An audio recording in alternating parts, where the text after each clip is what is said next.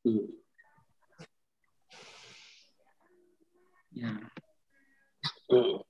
Ya, peserta sudah mulai masuk.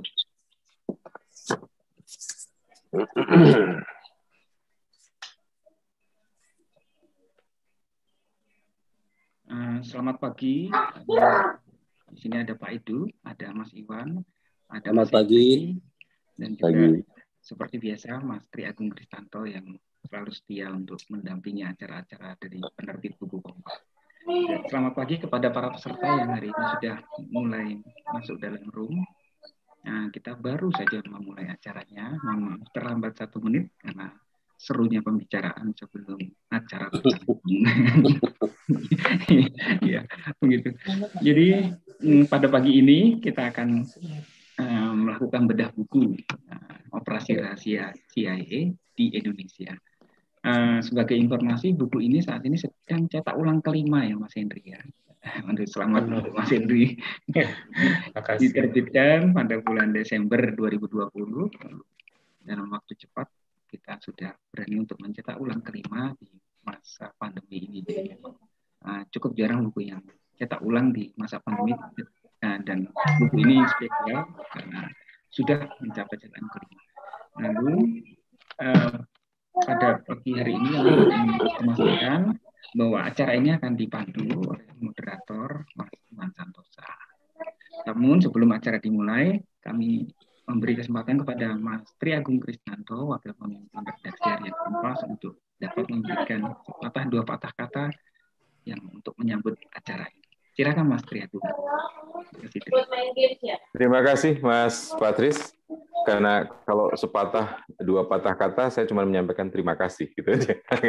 Jadi, eh, iya. Selamat pagi teman-teman. Saya lebih suka menyapa teman-teman karena rasanya menjadi sangat dekat sebagai teman, sebagai sahabat itu eh, lebih dekat rasanya. Monggo, silakan Mas Ri. Ya, pagi ini eh, teman-teman kalau kami di Kompas biasanya sahabat Kompas menyapanya, sahabat Kompas. Eh, pagi hari ini kita akan membicarakan sebuah buku yang saya percaya sangat menarik dan ini sudah dibuktikan dengan sudah cetak eh, ulang yang kelima dalam waktu lima bulan eh, sudah cetak ulang yang kelima. Eh, luar biasa tentu saja minatnya. Dan banyak hal di masyarakat kita. Eh, kalau urusannya dengan rahasia urusannya dengan CIA urusannya dengan Amerika itu pasti menimbulkan apa? Saya nyebutnya kadang kegaduhan. Tapi kegaduhan itu juga muncul karena keinginan orang untuk tahu dan Mas Henry Isna ini memang jeli melihat ini dan saya kira bukan hanya jeli tapi pengetahuan yang sangat memadai sangat mumpuni untuk menguraikan ini sebagai seseorang yang belajar eh, sejarah dan terima kasih untuk kepercayaannya kepada Kompas, kepada penerbit eh, buku Kompas untuk menerbitkan buku yang menarik ini. Eh, saya terus terang saya di rumah dari saya nggak bawa bukunya karena bukunya ada di ada di kantor. Eh, jadi terima kasih untuk kepercayaannya kepada Kompas, terima kasih untuk kesediaannya berbagi kepada eh, sahabat Kompas tentu saja eh, dengan menerbitkan buku ini. Dan selain Mas Henry, terima kasih juga kepada Pak Edward Lukman yang seorang sejarawan senior. Meskipun bukan latar belakang sejarah, tapi sejarah itu kan mewarnai hidup kita, Pak Edward ya. Pak Edu, Iya, ya. terima kasih Mas Jadi, Ri. semuanya sudah kita ini hidup dengan sejarah. Jadi eh, yang selalu juga memberikan warna yang berbeda dalam pembicaraan-pembicaraan kita terkait dengan sejarah, khususnya di penerbit buku Kompas di Kompas tentu saja. Dan hari ini eh, Mas Iwan Santoso Iwan Ong, wartawan eh, Kompas yang akan memandu dan Mas Iwan adalah salah satu dari sedikit saya harus katakan sedikit wartawan Kompas yang betul-betul eh, mendalami persoalan sejarah. Meskipun kalau latar belakang eh, pendidikannya Mas Iwan pun juga bukan bukan dari sejarah, tetapi Mas Iwan sangat peduli dan sangat mendalami persoalan-persoalan sejarah apalagi yang terkaitan dengan sejarah pertahanan, sejarah politik, eh, sejarah internasional itu eh, Mas Iwan. Jadi saya saya percaya dalam eh, diskusi dan buku hari ini saya tidak menyebutnya sebagai peluncuran karena bukunya sudah diluncurkan sebelumnya.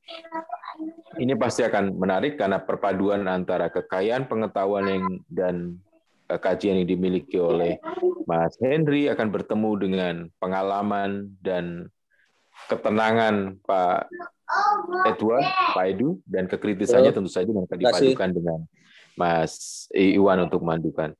Eh, saya tidak ingin berpanjang kata karena ini adalah panggung Mas Henry, panggung eh, cerita operasi rahasia CIA di Indonesia, dan kita percaya bahwa lebih baik kemudian membaca buku atau menuliskan buku, karena itu akan terus bisa dikenang, bisa diulang, dan bisa kemudian diteruskan pada generasi-generasi berikutnya.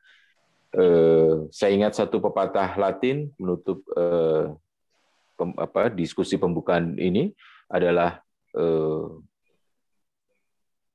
verba volen scripta manen.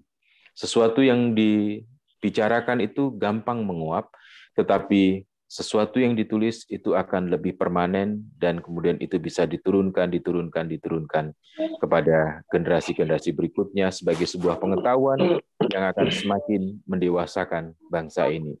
Terima kasih, selamat berdiskusi dan selamat saling memperkaya pengetahuan kita semua untuk bangsa ini. Terima kasih, Mas Patrik. Terima kasih, Mas Tri. Terima kasih. Terima kasih, Mas Tri Agung. Kita panggilnya Mas Tra ya atas sambutannya. Ya, dan tanpa memperpanjang waktu, saya juga ingin memperkenalkan Mas Iwan Santosa, uh, moderator kita pagi ini. Saya bacakan singkat uh, biografinya Mas Iwan. Iwan Santosa alias Iwan Ong lahir di Bogor, Jawa Barat. Tahun ini Fakultas Hukum Universitas Diponegoro Semarang, Jawa Tengah. Bekerja di Harian Jaya sejak 2001. Pernah bertugas di lingkungan militer, pertahanan intelijen, dan advokasi HAM. Saat ini bertugas di Kompas ID, platform digital harian Kompas. Penugasan di sektor pertahanan antara melakukan liputan di Aceh pada masa darurat militer, mengikuti patroli perbatasan RI Malaysia di Kalimantan, patroli perbatasan RI dan Timor Leste, liputan kegiatan latihan bersama TNI dengan mitra Amerika Serikat, Austria, Australia, Cina, ASEAN, dan negara-negara lain. Nah, Mas Iwan ini juga banyak menulis buku tentang sejarah militer, sinologi, dan menjadi narasumber di berbagai media seperti televisi, radio, dan sebagainya. Buku-bukunya antara lain yang diterbitkan oleh penerbit buku Kompas, Legiun Mangkunegaran, lalu Peranakan Tionghoa di Nusantara. Yang ketiga, uh, sejarah apa uh, sejarah uh, Kenil yang ditulis bersama uh, Pak Jang Rose. Lalu juga ia menulis buku Tarakan para Harbor Indonesia tahun 2004, Kopassus di Indonesia, dan yang terakhir tahun 2017 buku Biak The Peace of War. Jadi demikian Mas Iwan Santosa. Lalu sebagai informasi, eh, para peserta juga dapat membeli buku ini hari ini dengan diskon 20%. Jika bila tertarik dalam mendengarkan diskusi ini bisa langsung apa namanya membaca buku tersebut dengan harga spesial. Lalu saya juga menginformasikan di akhir acara Mas Iwan, Pak Edu, dan Mas Hendri akan memilih satu uh, penanya terbaik untuk mendapatkan hadiah buku. Jadi kita menyediakan tiga buku untuk hadiah bagi para peserta yang bertanya dan penanya terbaik akan dipilih satu oleh Mas Iwan, satu oleh Pak Edu, dan satu oleh Mas Hendri.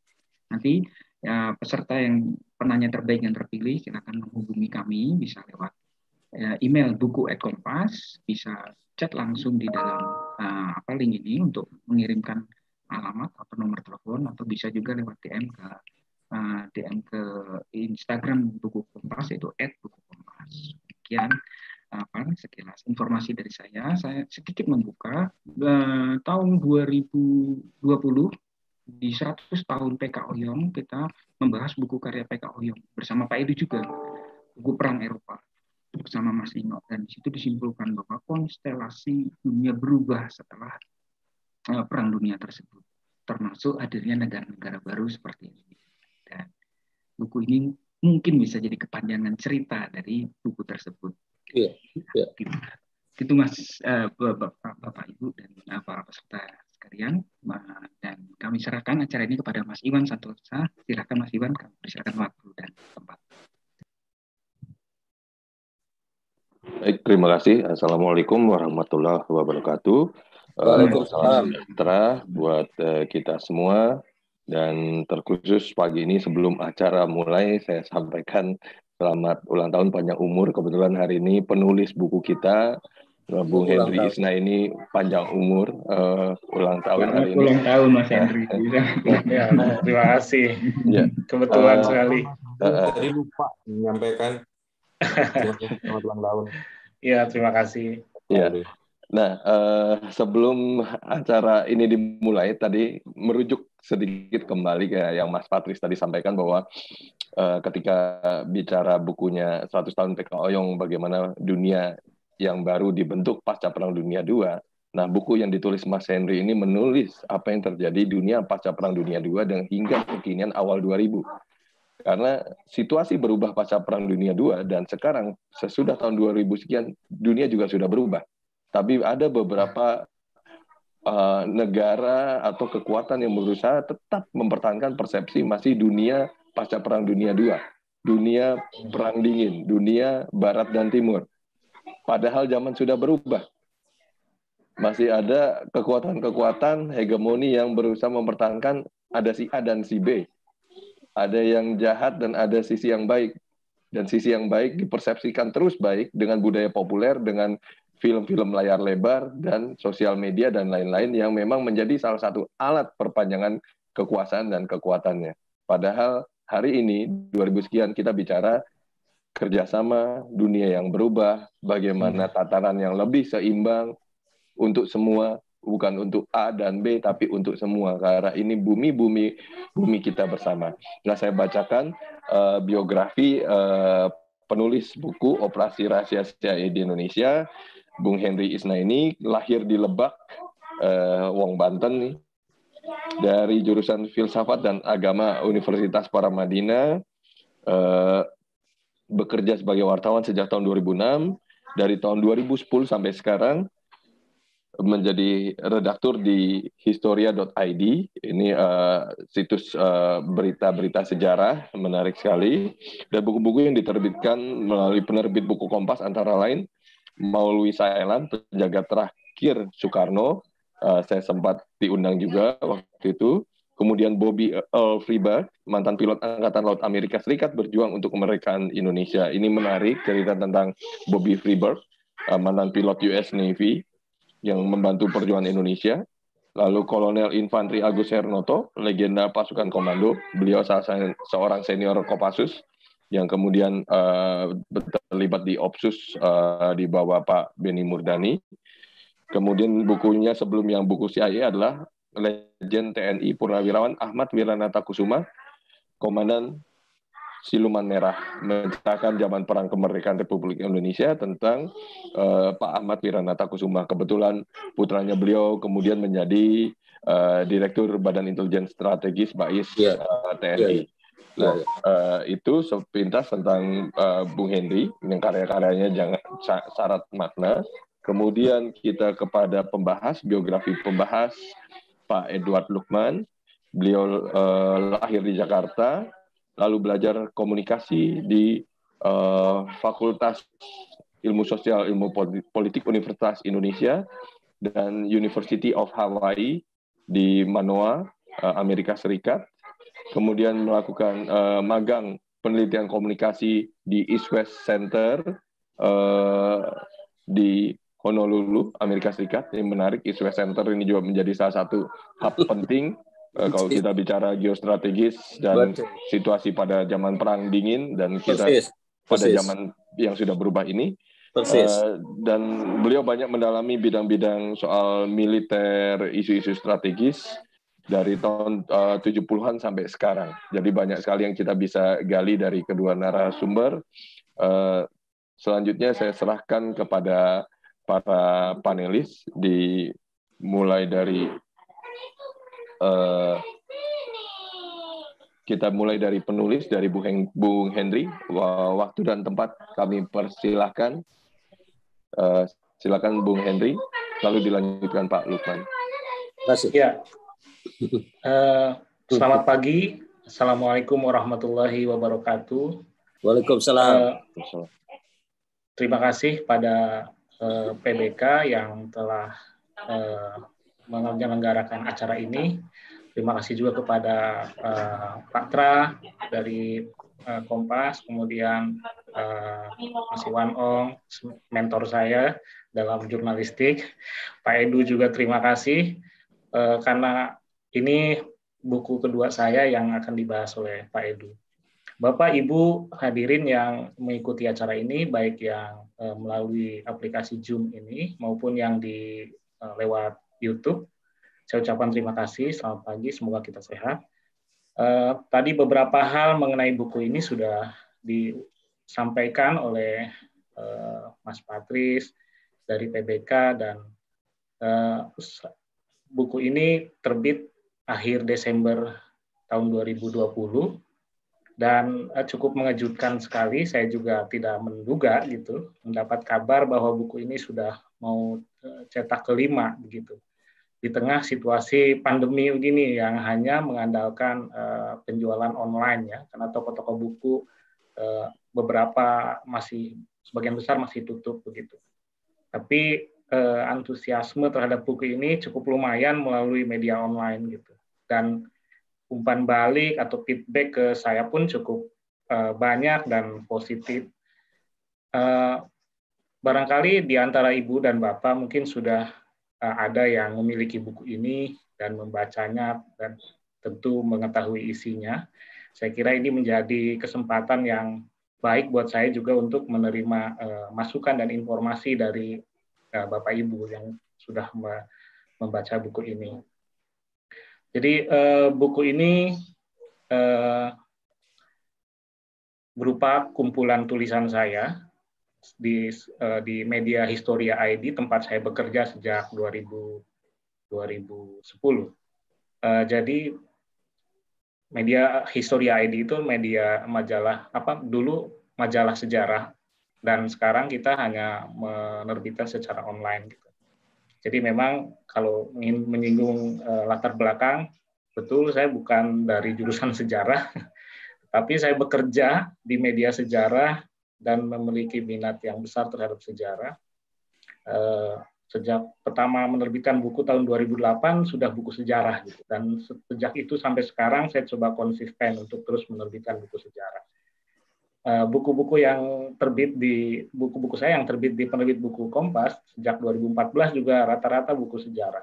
Terutama memang buku-buku biografi ya yang sudah di tadi disampaikan oleh Mas Iwan. Dan eh, baru di buku terbaru ini saya mencoba eh, keluar dari Eh, dari uh, tema biografis gitu lebih ke tema uh, peristiwa. Dan ini tentang sejarah intelijen sejarah operasi rahasia di rahasia CIA di Indonesia. Uh, saya coba menelusuri sejarah operasi CIA ini sejak uh, agak lompat-lompat sih. 2014 saya sudah mulai gitu ya. Tapi tidak intens. Kemudian baru di tahun 2000 uh, 19 saya kira malahan ya. 2019 dan awal 2020 saya cukup intens hari-hari eh, eh, menelusuri tentang peristiwa-peristiwa operasi-operasi CIA yang pernah terjadi di Indonesia. Jadi di dalam buku ini secara garis besar eh, terdapat 36 tulisan yang bisa dibaca satu persatu dan mendapatkan cerita tersendiri tapi juga ada yang saling keterkaitan antara satu tulisan dengan tulisan yang lain. Sesuai dengan judulnya, eh, saya mencoba mencari tahu eh, sejauh mana keterlibatan Amerika Serikat di dalam eh, sejarah Indonesia. Dan ternyata Amerika sudah hadir di Indonesia dalam operasi intelijen ataupun uh, masih dalam taraf yang mengumpulkan informasi saya kira ya. Pada awal-awal kemerdekaan itu sudah masuk. Jadi ketika pendaratan sekutu, tim uh, dari lembaga intelijen Amerika sudah masuk ke Indonesia.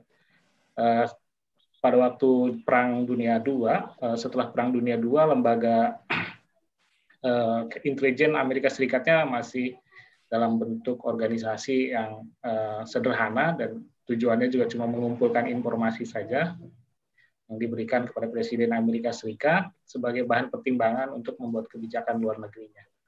Nah, eh, di buku ini saya mengawali dari eh, masuknya tim OSF. OSS ini lembaga intelijen pendahulu CIA. Jadi ternyata eh, saya mendapatkan sumber sebuah jurnal di yang juga diterbitkan oleh CIA Uh, jurnal itu menarik yang ditulis oleh William J. Russ. Dia membahas tentang uh, operasi uh, eh, OSS di Indonesia, namanya operasi Iceberg. Jadi dari 45 itu sudah masuk uh, tim dari Amerika Serikat. Kemudian berlanjut setel, uh, OSS ini mengalami perubahan sampai kemudian di uh, tahun 47 menjadi CIA dan saya singgung di dalam buku ini juga operasi uh, pertama CIA dan agen CIA pertama yang hadir di Indonesia. Jadi setelah eh, sejak eh, awal kemerdekaan tadi, memang Amerika sudah mulai masuk dan seterusnya saya kira terus eh, memperkuat eh, posisinya di Indonesia, eh, memperkuat eh, gerakannya di Indonesia. Apalagi kemudian setelah eh, Indonesia merdeka pada masa eh, perang dingin, ada kalau di masa orde lama itu konstelasi politiknya sangat uh, cukup keras sehingga Amerika punya kepentingan yang sangat besar terhadap Indonesia.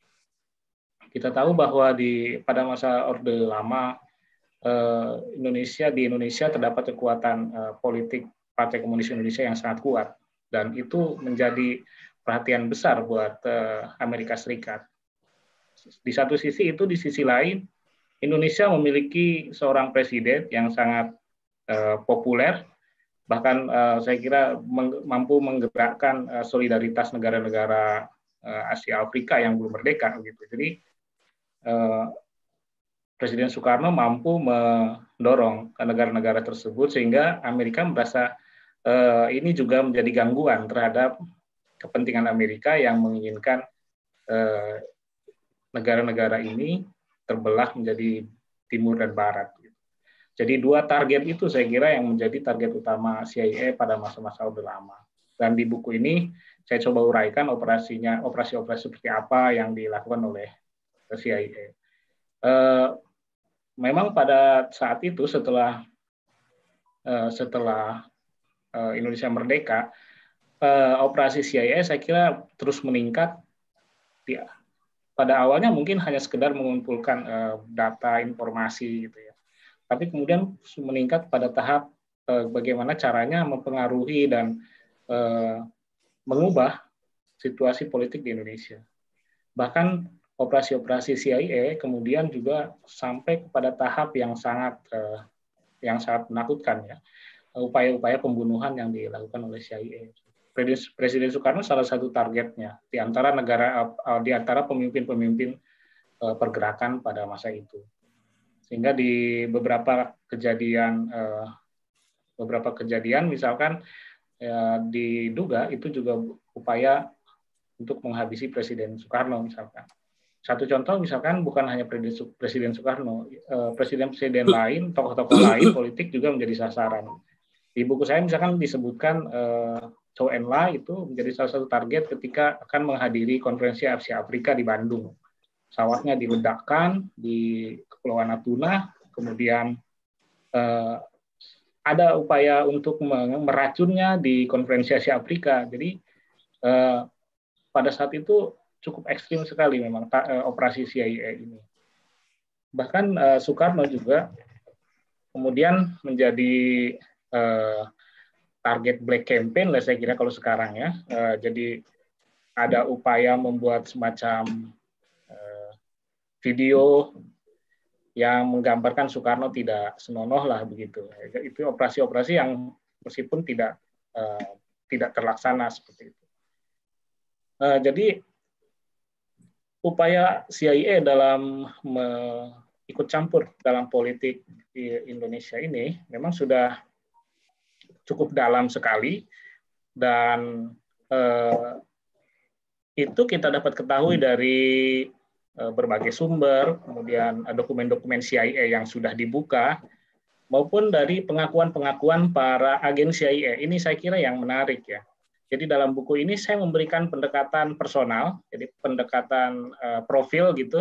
Jadi di setiap peristiwa dalam uh, tulisan-tulisan saya, saya mencoba mengambil satu tokoh uh, dalam peristiwa dalam dalam peristiwa operasi ini. Jadi di bukunya di setiap tulisannya hampir ada selalu ada tokoh yang melakukan atau melakukan operasi.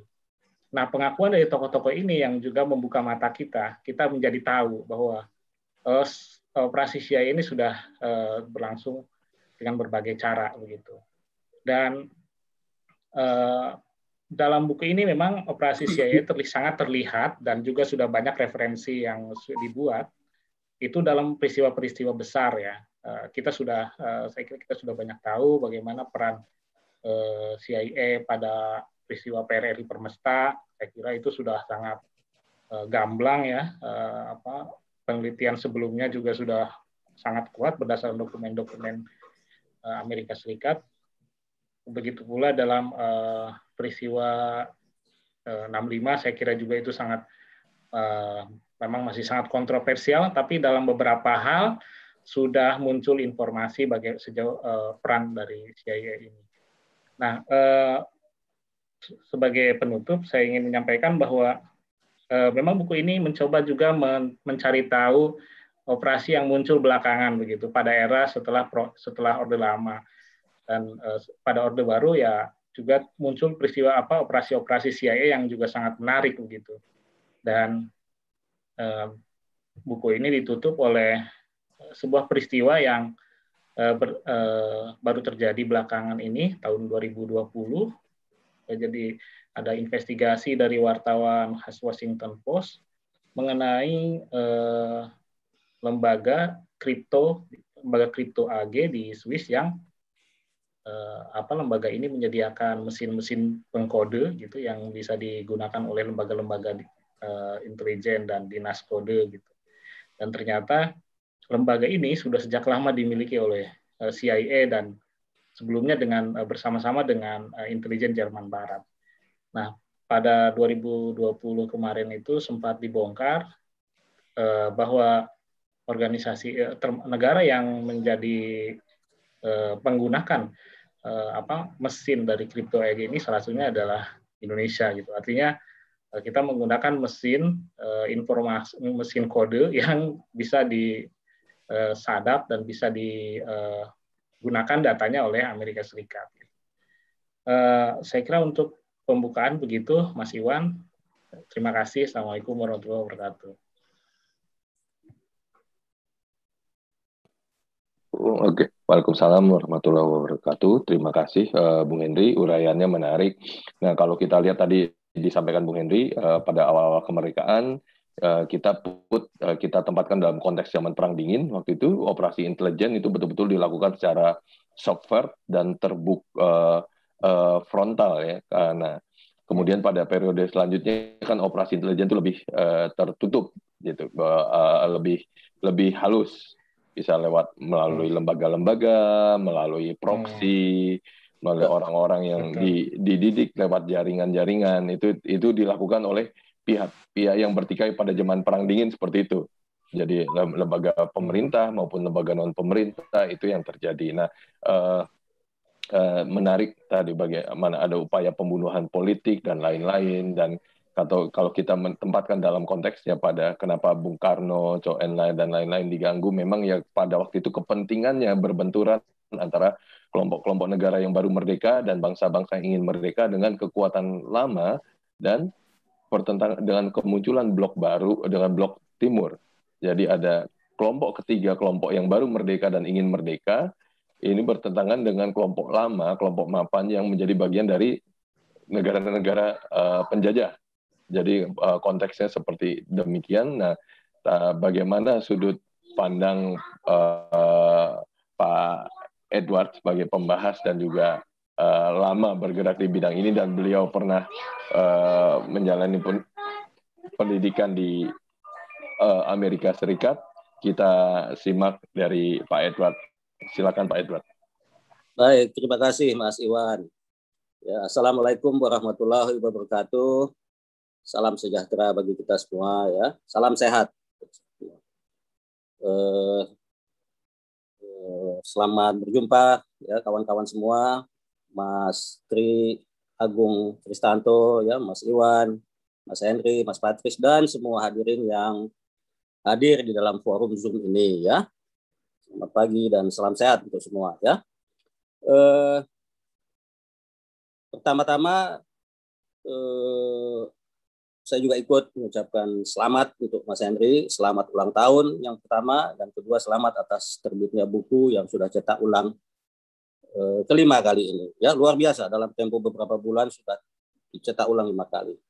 Hari ini juga hari yang penting buat bangsa kita. Ya hari ini adalah hari kelahiran Bung Karno. Ya 120 tahun yang lalu. Ya salah seorang pendiri utama negeri kita ini. Ya yang justru menariknya banyak menjadi bahasan di dalam buku ini karena menjadi sasaran yang bertubi-tubi dari operasi intelligence yang dilakukan negara-negara asing ya. Baiklah, eh, saya juga ikut perlu menegaskan gitu ya bahwa ini yang membahas buku buku sejarah kejadian sejarah ini ternyata semuanya tidak ada orang sejarah begitu ya yang pendidikan formalnya sejarah ya. Saya pun demikian ya saya hanya eh, peminat sejarah ya sebagai eh, apa namanya interest pribadi ya yang saya tekuni lama tentu ya barangkali 45 tahun sudah ya membaca sejarah. Padahal bidang studi saja yang saya tekuni adalah ilmu komunikasi ya. Itu bidang formal saya. Tapi seperti Mas Tri Agung Kristanto tadi katakan, kita bisa saja menjadi sejarawan mungkin dalam tanda petik ya begitu ya. Jadi saya juga bukan sejarawan, saya apalagi bukan pengamat masalah intelligence, tidak sama sekali ya. Baiklah, eh, buku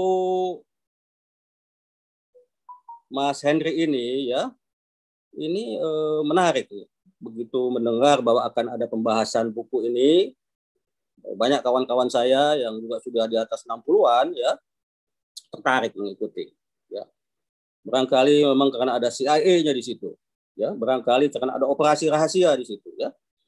CIA ini namanya memang eh, apa nama dikenal ya oleh seberapa kenalnya inilah yang jadi persoalan ya.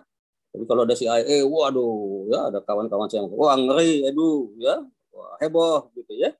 Tapi memang ya, eh, apa namanya, eh, membaca kegiatan aktivitas operasi CIA di negeri kita seperti kata Mas Henry tadi sudah ada sepanjang waktu sejak negeri ini berdiri gitu ya. Jadi buku ini menceritakan tadi sudah disebut Mas Henry 36 kisah operasi intelligence Amerika Serikat yang dilakukan oleh badan yang namanya Central Intelligence Agency ya yang berdiri di akhir tahun 1947 di bawah Presiden Harry Truman ya Tadi sudah disebut juga oleh Mas Henry sebelumnya ini uh, nah, uh, cikal bakalnya adalah sebuah badan yang namanya Office of Strategic Services ya. Yang uh, lebih fokus kepada apa namanya uh, pengumpulan ya. Pengumpulan uh, uh, data atau intelligence militer ya untuk perang kepentingan perang dunia kedua ya. OSS didirikan tahun 42 tapi setelah perang dunia kedua dianggap eh, perannya sudah selesai lalu diganti beberapa tahun kemudian oleh eh, CIA ya. Di CIA ini eh, barangkali sudah banyak kita dengar namanya di film-film ya dengan segala ceritanya dengan segala bumbunya ya. Nah buku ini mengungkap menceritakan aktivitas badan intel ini sudah ada di negeri ini sejak awal ya. Yang menarik dalam buku ini, Mas Henry itu di bagian awal sekali di kata pengantar membuka dengan menceritakan bagaimana uh, pemerintah kita, ya Presiden Jokowi uh, khususnya menyatakan keadaan darurat pandemi COVID-19, ya pada tanggal awal Maret, ya 13 Maret sudah ada laporan. Nah, laporan yang dipakai laporan Intel ini, ya. Jadi kita melihat lagi bagaimana eh, apa namanya peran ya kegunaan laporan-laporan badan intelligence ini di dalam berbagai pengambilan keputusan negara ya? Jadi diputuskan untuk segera membentuk badan pelaksana ya atau uh, gugus uh, tugas ya untuk penanggulangan covid ya? Negeri-negeri lain juga mengandalkan uh, apa data intelligence ya disebut di dalam kata pengantar Israel dan Amerika Serikat sendiri ya yang walaupun Trump mula-mulanya juga tidak begitu yakin dengan info yang diberikan badan-badan intel Amerika itu ya. Jadi buku itu dibuka dengan satu kejadian yang terjadi di awal pandemi ya untuk memperlihatkan peran strategik dari lembaga-lembaga intel ya. Tadi Mas eh, Henry sudah menjelaskan secara garis besar ya bahwa buku ini bercerita secara kronologis ya tentang berbagai aktivitas ya Badan Intelligence Amerika CIA ini di negeri kita ya. Eh, jadi kalau bisa diklasifikasi, dikategorisasi, operasi-operasi atau aktivitas CIA di negeri kita ini bisa dibagi, ada beberapa orang yang menggolongkannya dengan cara yang berbeda-beda ya. Ada yang menggolongkan periode 1945, 1950, 1950, 1955, 1958, 1960-an sampai sebelum peristiwa 65, peristiwa 65, pasca peristiwa 65 dan di masa Orde Baru ya. Ada juga yang lebih sederhana 1945 sampai 1955 dengan apa namanya eh, kejadian-kejadian penting misalnya peristiwa Madiun ya, peristiwa Madiun. Eh, sebelum peristiwa Madiun di buku eh, Mas Henry juga diceritakan dan kita bisa gali lebih lanjut di sumber-sumber lain ada serangkaian pertemuan antara pemerintahan negeri kita yang baru berdiri ya baru tiga tahun dengan sejumlah petinggi Amerika ya. Ya misalnya yang terjadi di Sarangan di luar kota Madiun ya pada Juli 1948 sebelum peristiwa Madiun terjadi ya di situ Presiden Soekarno eh, Wakil Presiden Bung Hatta Perdana Menteri Sukiman ya Kepala Polisi Sukanto bertemu dengan uh, penasihat politik Presiden Truman ya uh, Bernard Hopkins ya dan uh, wakil Amerika yang dulu ada di Komisi Jasa Baik PBB ya Merle Cohen yang kemudian menjadi duta besar Amerika di Indonesia ya. Di situ uh, banyak diceritakan di berbagai referensi ya terjadi kesepakatan yang atas usul yang kemudian dikenal dengan nama Red Drive Proposal ya Nah, diceritakan banyak ya, bisa kita rujuk ke berbagai sumber ya. Apa yang terjadi, deal apa yang terjadi ya. Kita di, menyemakati me, apa namanya eh, menggeser ya dan kemudian malah akan menumpas ya eh, komunis setelah peristiwa 65 eh peristiwa Madiun maaf Madiun 48 tapi Amerika menjanjikan serangkaian janji-janji ya termasuk pelatihan, bantuan ya terutama bagi kepolisian. Ya. Menarik misalnya pada tahun 48 itu juga Kepala Polisi Sukanto kemudian terbang ke Amerika ya untuk membicarakan masalah pelatihan dan bantuan perlengkapan ya. Tapi sebelum itu ya tadi Mas Henry juga sudah menceritakan sebelum uh, Republik ini merdeka ya tahun 44 uh, OSS sudah merekrut orang Indonesia ya. Disebut di situ namanya Mailuku ya yang nama sandinya Hampi. Ya sayangnya eh, orang ini kemudian dibunuh ya. Mungkin ya kabarnya oleh pihak Republik yang mencurigakan dia ini kolaborator dengan Belanda ya. Di era tahun eh, 50 awal juga 52 persisnya puluhan orang kita dilantik di Saipan ya juga diceritakan di buku ini ya dan ada sejumlah orang ya eh, yang berangkat untuk pelatihan, kemudian juga berlanjut di Okinawa dan sebagainya ya. Nah, eh,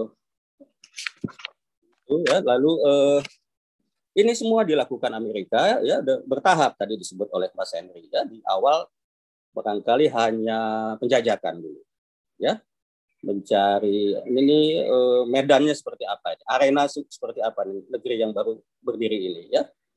Lalu mencari info ya untuk disampaikan ke para eh, apa namanya pengambil kebijakan Amerika dalam konteks strategi global Amerika khususnya di negara yang baru berdiri Indonesia ini. Dalam rangka memperluas ruang pengaruh Amerika yang saat itu bertarung dengan eh, blok Soviet ya nah eh, di dalam upaya itu ada kemudian meningkat ya.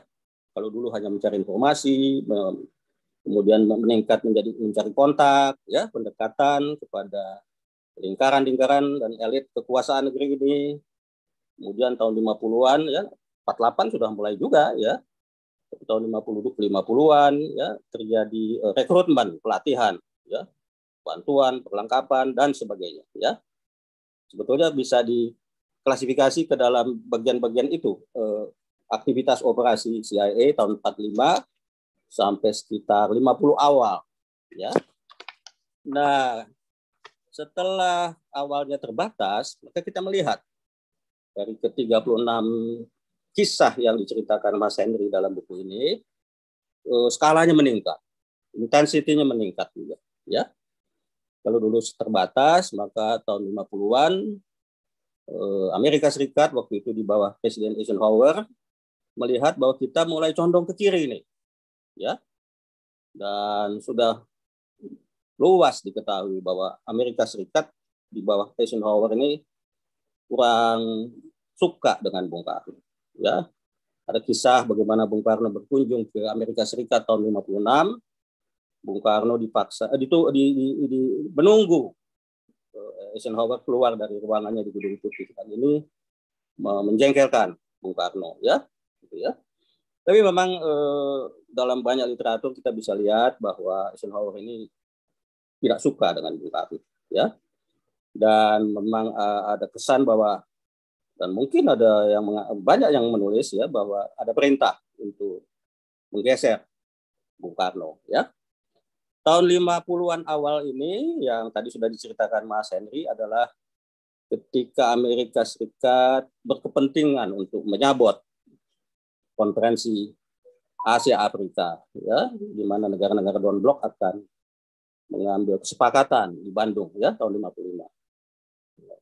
Persis seperti dikatakan Mas Henry tadi, pesawat yang mengangkut rombongan uh, uh, petinggi uh, Tiongkok ya. Kalau nggak salah pesawatnya dari Air India kalau nggak salah tuh ya. Pesawat besar ya, kalau saya nggak salah jenisnya Lockheed Constellation. Besar itu ya. Jatuh di Laut Natuna ya Kashmir Princess nama pesawatnya itu ya. Sebagian besar penumpangnya tewas ya. Dan memang dicurigai ada penyabotan ya. Barangkali waktu dia dirawat atau berangkat dari Hong Kong dan betul kemudian ya tidak berhenti di situ tapi eh, Zhou Enlai sendiri ya perdana menteri Tiongkok waktu itu Zhou Enlai eh, selamat. Karena barangkali eh, intelligence eh, Tiongkok sudah mencium. Ada upaya untuk membunuh ya. Masuk kemudian dilanjutkan dengan cara-cara yang enggak kalah kasarnya ya meracuni makanan Zhou lain ya. Gitu ya.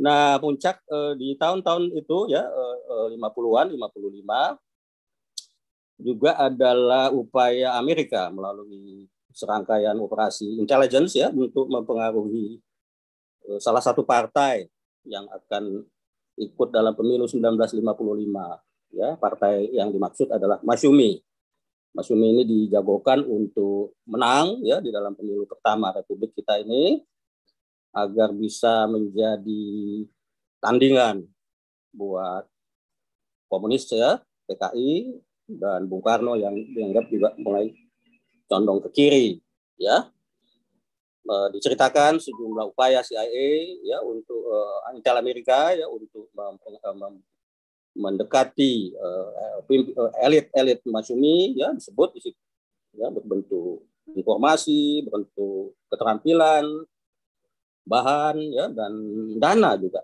Walaupun ini juga tentu dibantah dengan keras oleh pihak-pihak partai Masumi tersebut. Mas Yumi kemudian hanya menduduki nomor dua ya di bawah TNI, lalu tiga NU dan PKI nomor empat ya. Dan sejak itu upaya-upaya itu tidak diteruskan. Di tahun 50-an tadi juga Mas Yandi katakan eh, puncaknya adalah eh, terbentuknya PRRI di Sumatera ya pada tahun 58 Februari dan Permesta di wilayah Indonesia Timur ya. Nah ini ini uh, panjang ya ceritanya. Sudah banyak yang kisah-kisah tentang ini. Tapi sebelumnya betul seperti Mas Hendri katakan ya tahun 57 itu ada upaya untuk mempermalukan Bung Karno melalui pembuatan film ya.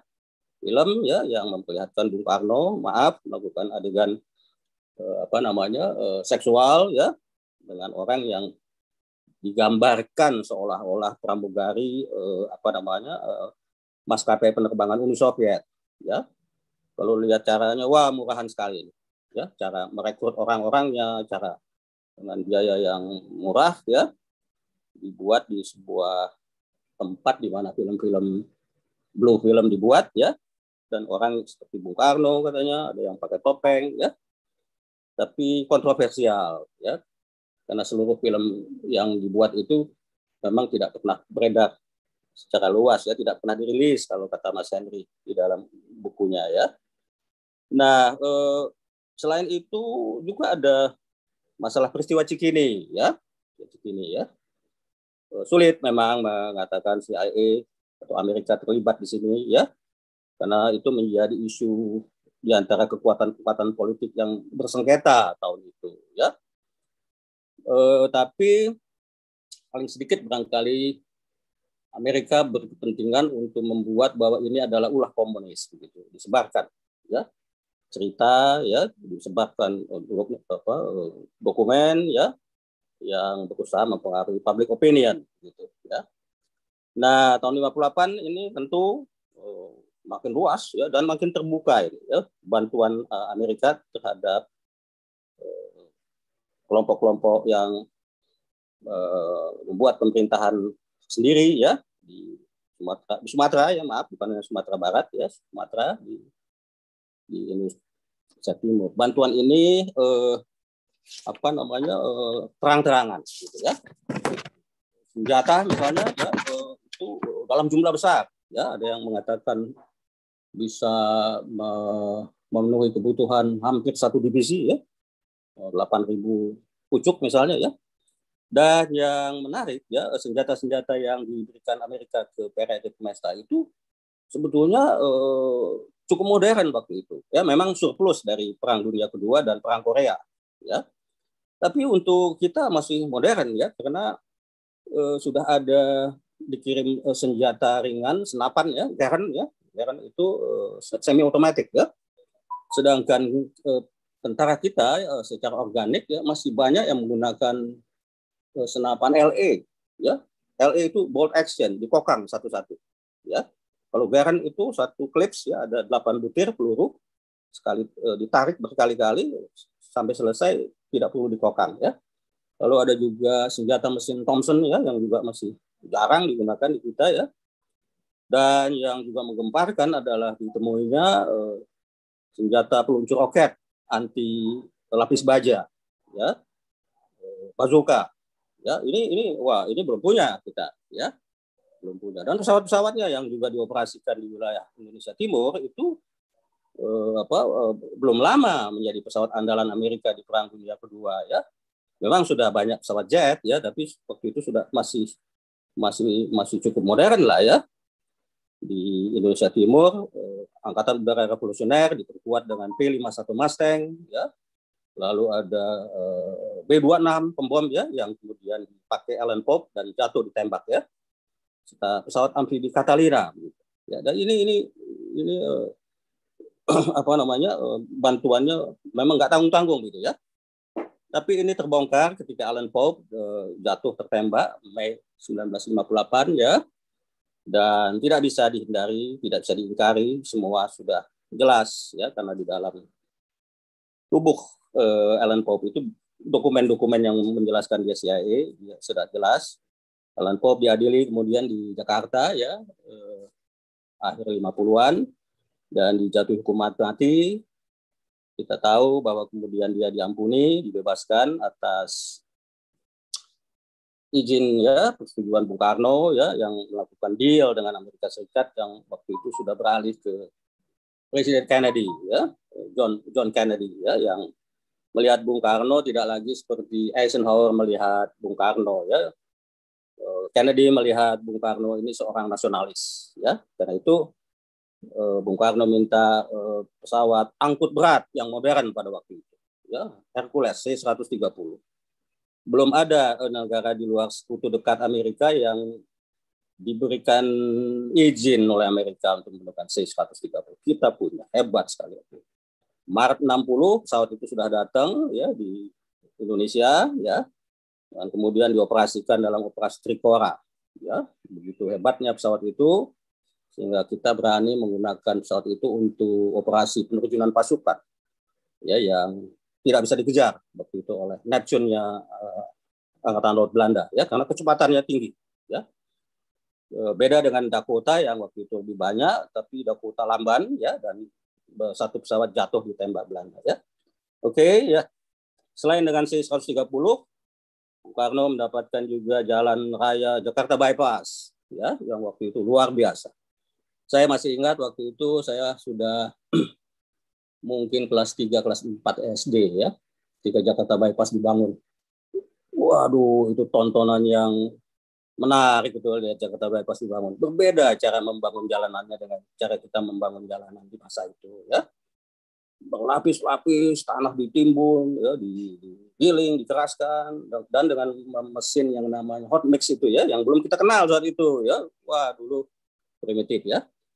Nah, akhir semua itu tentu puncaknya adalah peristiwa 65 ya. Saya langsung saja ke peristiwa paling besar yang menggegerkan ya.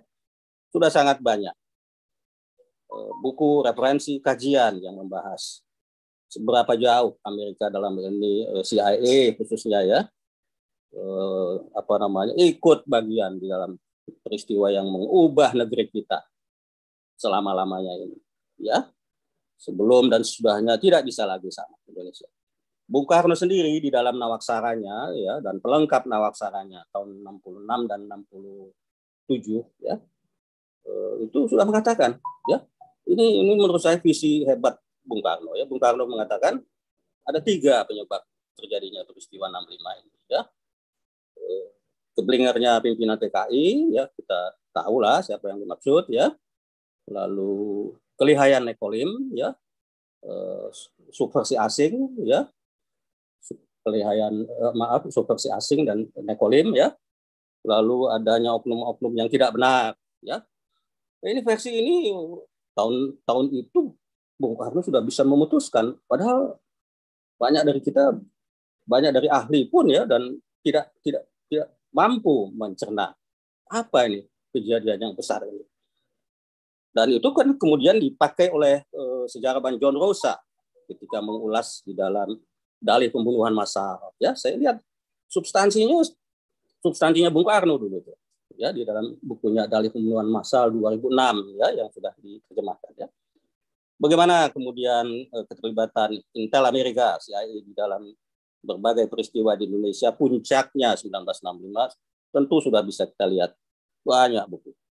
John Rosa sudah menulis, Geoffrey Robinson sudah menulis dalam eh, musim menjaga ya. Saskia Wirenga sudah menulis propaganda dan The Indonesian Genocide ya Greg Colgrane menulis 2014 bayang-bayang intervensi dan yang menghebohkan 2018 ya eh, Greg Colgrane mengulas GFK and Alan Dulles. Uh, Alan Dulles ini bos di CIA ya. Battleground Indonesia ya.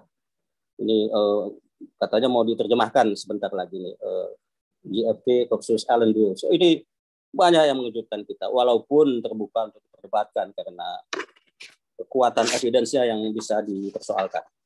Baiklah ya menjelang akhir ya di bab 25 eh, bagian 25 maaf ya ada betul-betul kisah yang membuka mata kita bahwa ada eh, jenderal uh, petinggi-petinggi perwira tinggi angkatan darat yang memang mengaku ya di, diutus oleh pemerintah dalam ini Jenderal Soeharto sendiri untuk menghubungi AS, untuk menghubungi uh, berbagai perusahaan asing negeri lain Misalnya eh, yang diceritakan diakui oleh eh, Mayor Jenderal Ahmad Tirto Sudiro.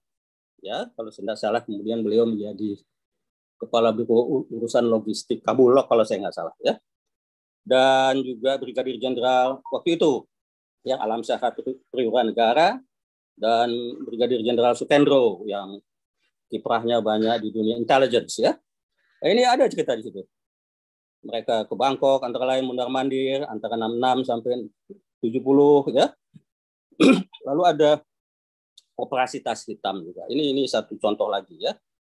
Hanya seminggu setelah peristiwa 65 dilaporkan dibentuk eh, kesatuan aksi pengganyangan Gestapo ya. Dan ada bantuan terhadap KAP ini untuk menggalang demonstrasi ya.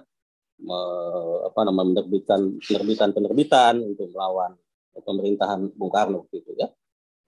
Dan juga diuraikan di situ alat-alat komunikasi untuk angkatan darat ya. Lalu ada pengakuan dari uh, agen CIA ya.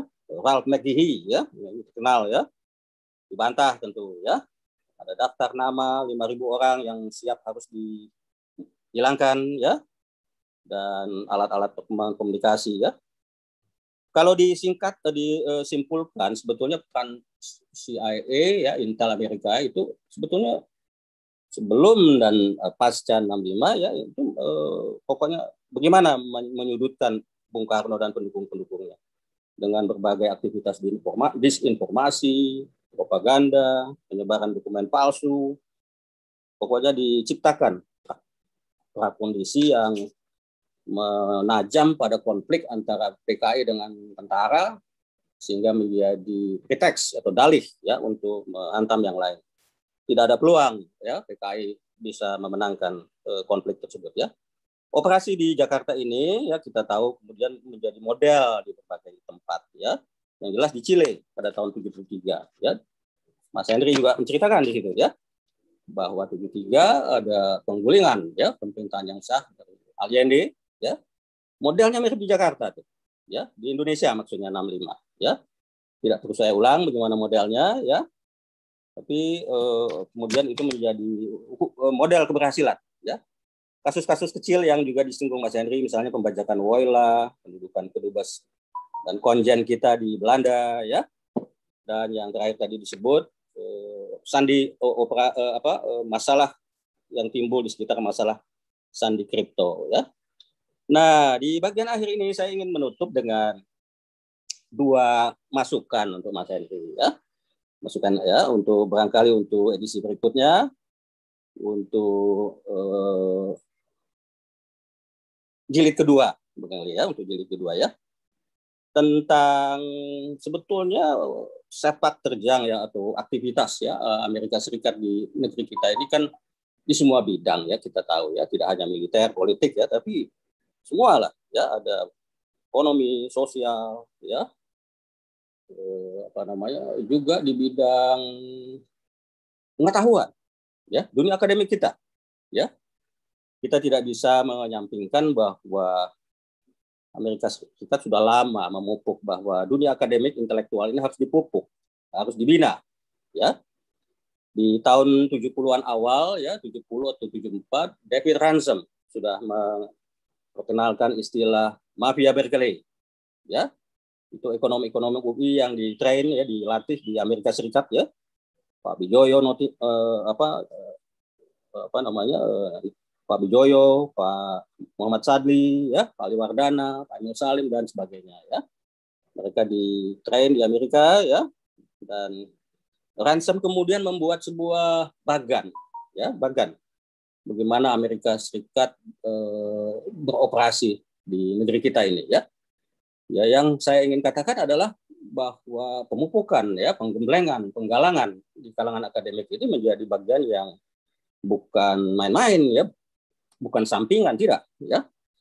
Ransom menggambarkan ada sumber dana dari uh, Ford Foundation dari Rockefeller Foundation lalu ke bawah menetes ke beberapa universitas besar di Amerika MIT Harvard Cornell dan UCLA ya California Eh, dan tentu saja tadi Mas Iwan juga sudah menyinggung, menyinggung ya lembaga think tank ya the East West Center di Honolulu Hawaii. Kita tidak boleh lupa bahwa the East West Center itu dibentuk dalam konteks perang dingin, ya, di mana waktu itu Bung Karno juga mengirimkan banyak uh, mahasiswa dan calon uh, intelektual ahli kita ke Blok Timur, ya, ke Uni Soviet, ke Polandia, ke Jerman Timur, ke Ceko dan sebagainya. Lalu awal 60 saya lupa persisnya 61 62 dibangunlah kampusnya The East West Center di Manoa ya. Mas Iwan tadi katakan juga ah, yang sedang bicara ini juga lulusan situ nih bagaimana? Saya tidak mau berkomentar apa-apa ya kalau orang menilai siapa saya pun saya juga tidak bisa membantah ya. Faktanya sudah begitu ya.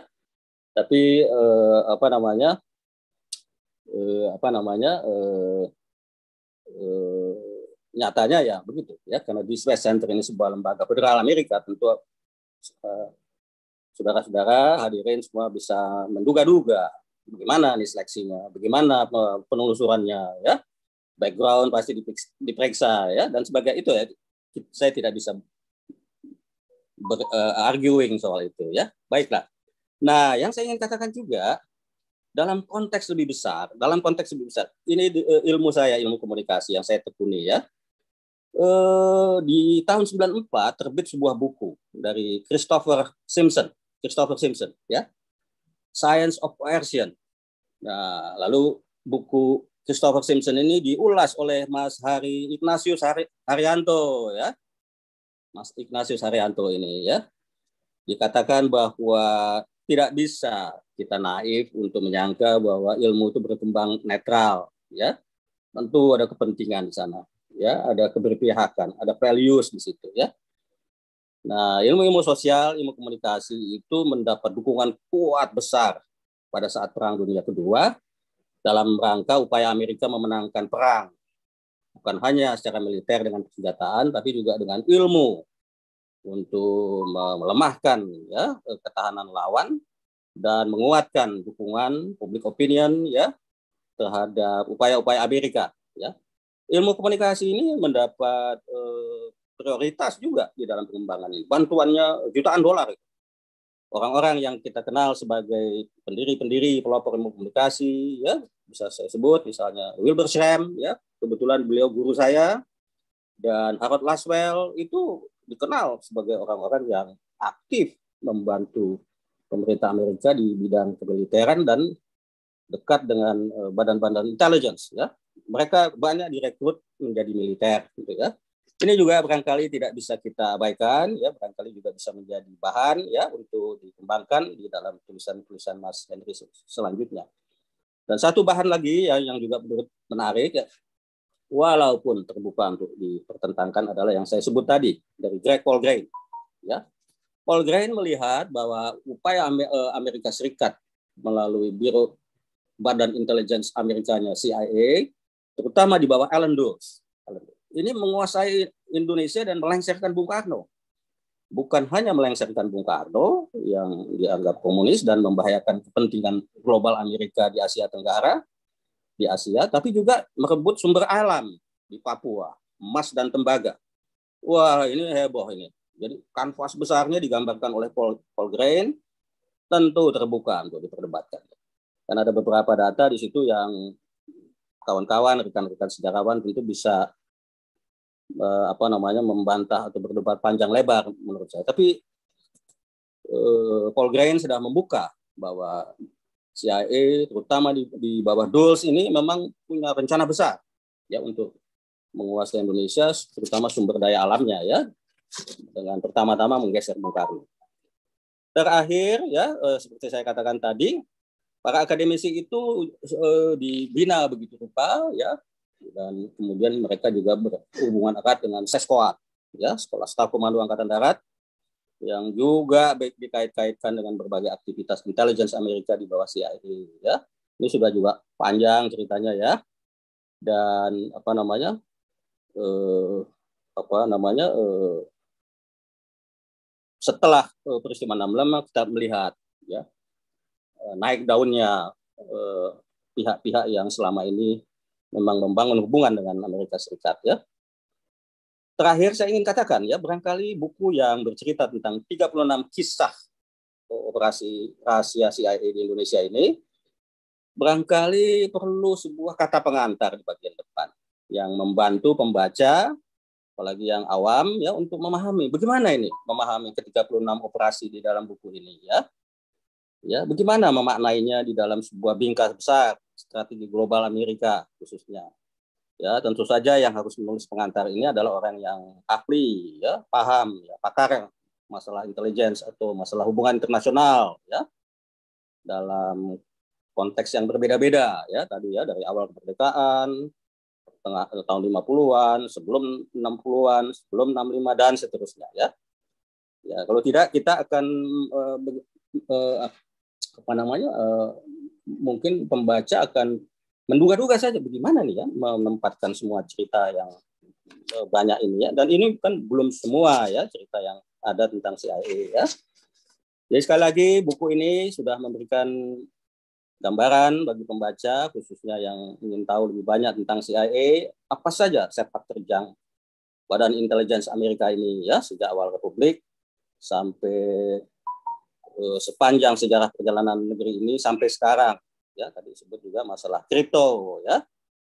E, mesin sandi atau mesin e, apa namanya pengkodean e, data intelligence di berbagai negara ya.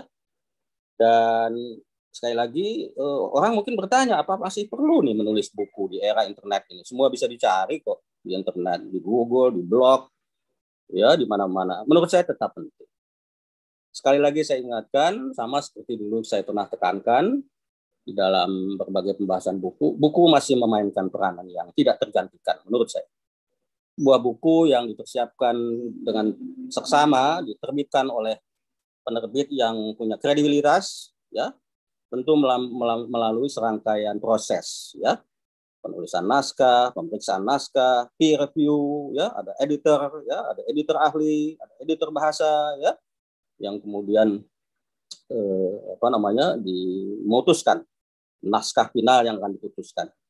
Satu aktivitas yang tidak dilakukan oleh penerbitan-penerbitan yang bersifat elektronik dan mengejar waktu kecepatan ya untuk terbit ya. Dan ini eh, sekali lagi saya singgung sudah dibahas oleh Tom Nichols ya di dalam bukunya Matinya Kepakaran. Ya. Nichols mengatakan buku yang diterbitkan dengan serius dengan seksama tidak tergantikan dengan dan selamat sekali lagi untuk Mas Henry ya. Terima kasih Mas Iwan. Itu saja dari saya. Saya kembalikan ke Mas Iwan. Terima kasih. Baik, terima kasih uh, Pak Edward. Menarik sekali ulasannya. Dan tadi sambil mendengarkan, saya juga lihat pertanyaan-pertanyaannya juga kritis-kritis dari peserta. Uh, menarik sekali.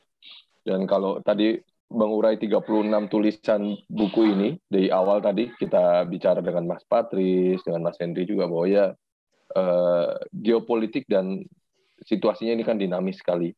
Iya. Jadi kalau hari ini bicara perang dagang, bicara Xinjiang, nah cikal bakal CIA, OSS itu pada tahun 43 bikin film untuk mendukung Tiongkok melawan Jepang. Iya. OSS eh, menjelaskan wilayah Tiongkok itu adalah uh, Tungpe, Manchuria, Mongolia, Xinjiang, dan Tibet. Tidak diganggu gugat. Itu OSS. Itu yang bikin Amerika. Dan hari ini film tersebut, kalau kita, eh, dan salah satu uh, produsernya adalah tokoh terkenal wartawan perang, uh, Robert Capa. Oh. Uh, uh, ya, uh, iya. Uh, dan film tersebut sudah semakin banyak yang mengklik di YouTube sekarang jadi Waduh. ada tambahan konten materi uh, konten sensitif itu menarik. Itu jadi buat saya, CIA menjalankan tugasnya untuk kepentingan Amerika Serikat dan kita juga punya lembaga intelijen untuk menjalankan kepentingan nasional kita. Iya. Patokannya adalah dasar negara kita dan konstitusi kita dan mereka juga bekerja sesuai misalnya tadi uh, yang diulas oleh Pak Edward dengan Bung Henry soal misalnya Permesta. Di situ ada Alan Pope. Uh, Alan Pope jadi tokoh uh, antagonis di kita tapi hmm. jadi pahlawan di Prancis. Alan Pope itu dalam pengepungan Dien Bien Phu dia hmm. Eh, menerbangkan pesawat mengedrop logistik untuk pasukan Prancis yang dikepung Vietnam dan Betul. dia Alan Pope mendapat uh, bintang Legion Honor Legion. dari uh, uh, ya, ya dari ya. Prancis. Jadi uh, mereka hanyalah operator, jadi agen lapangan.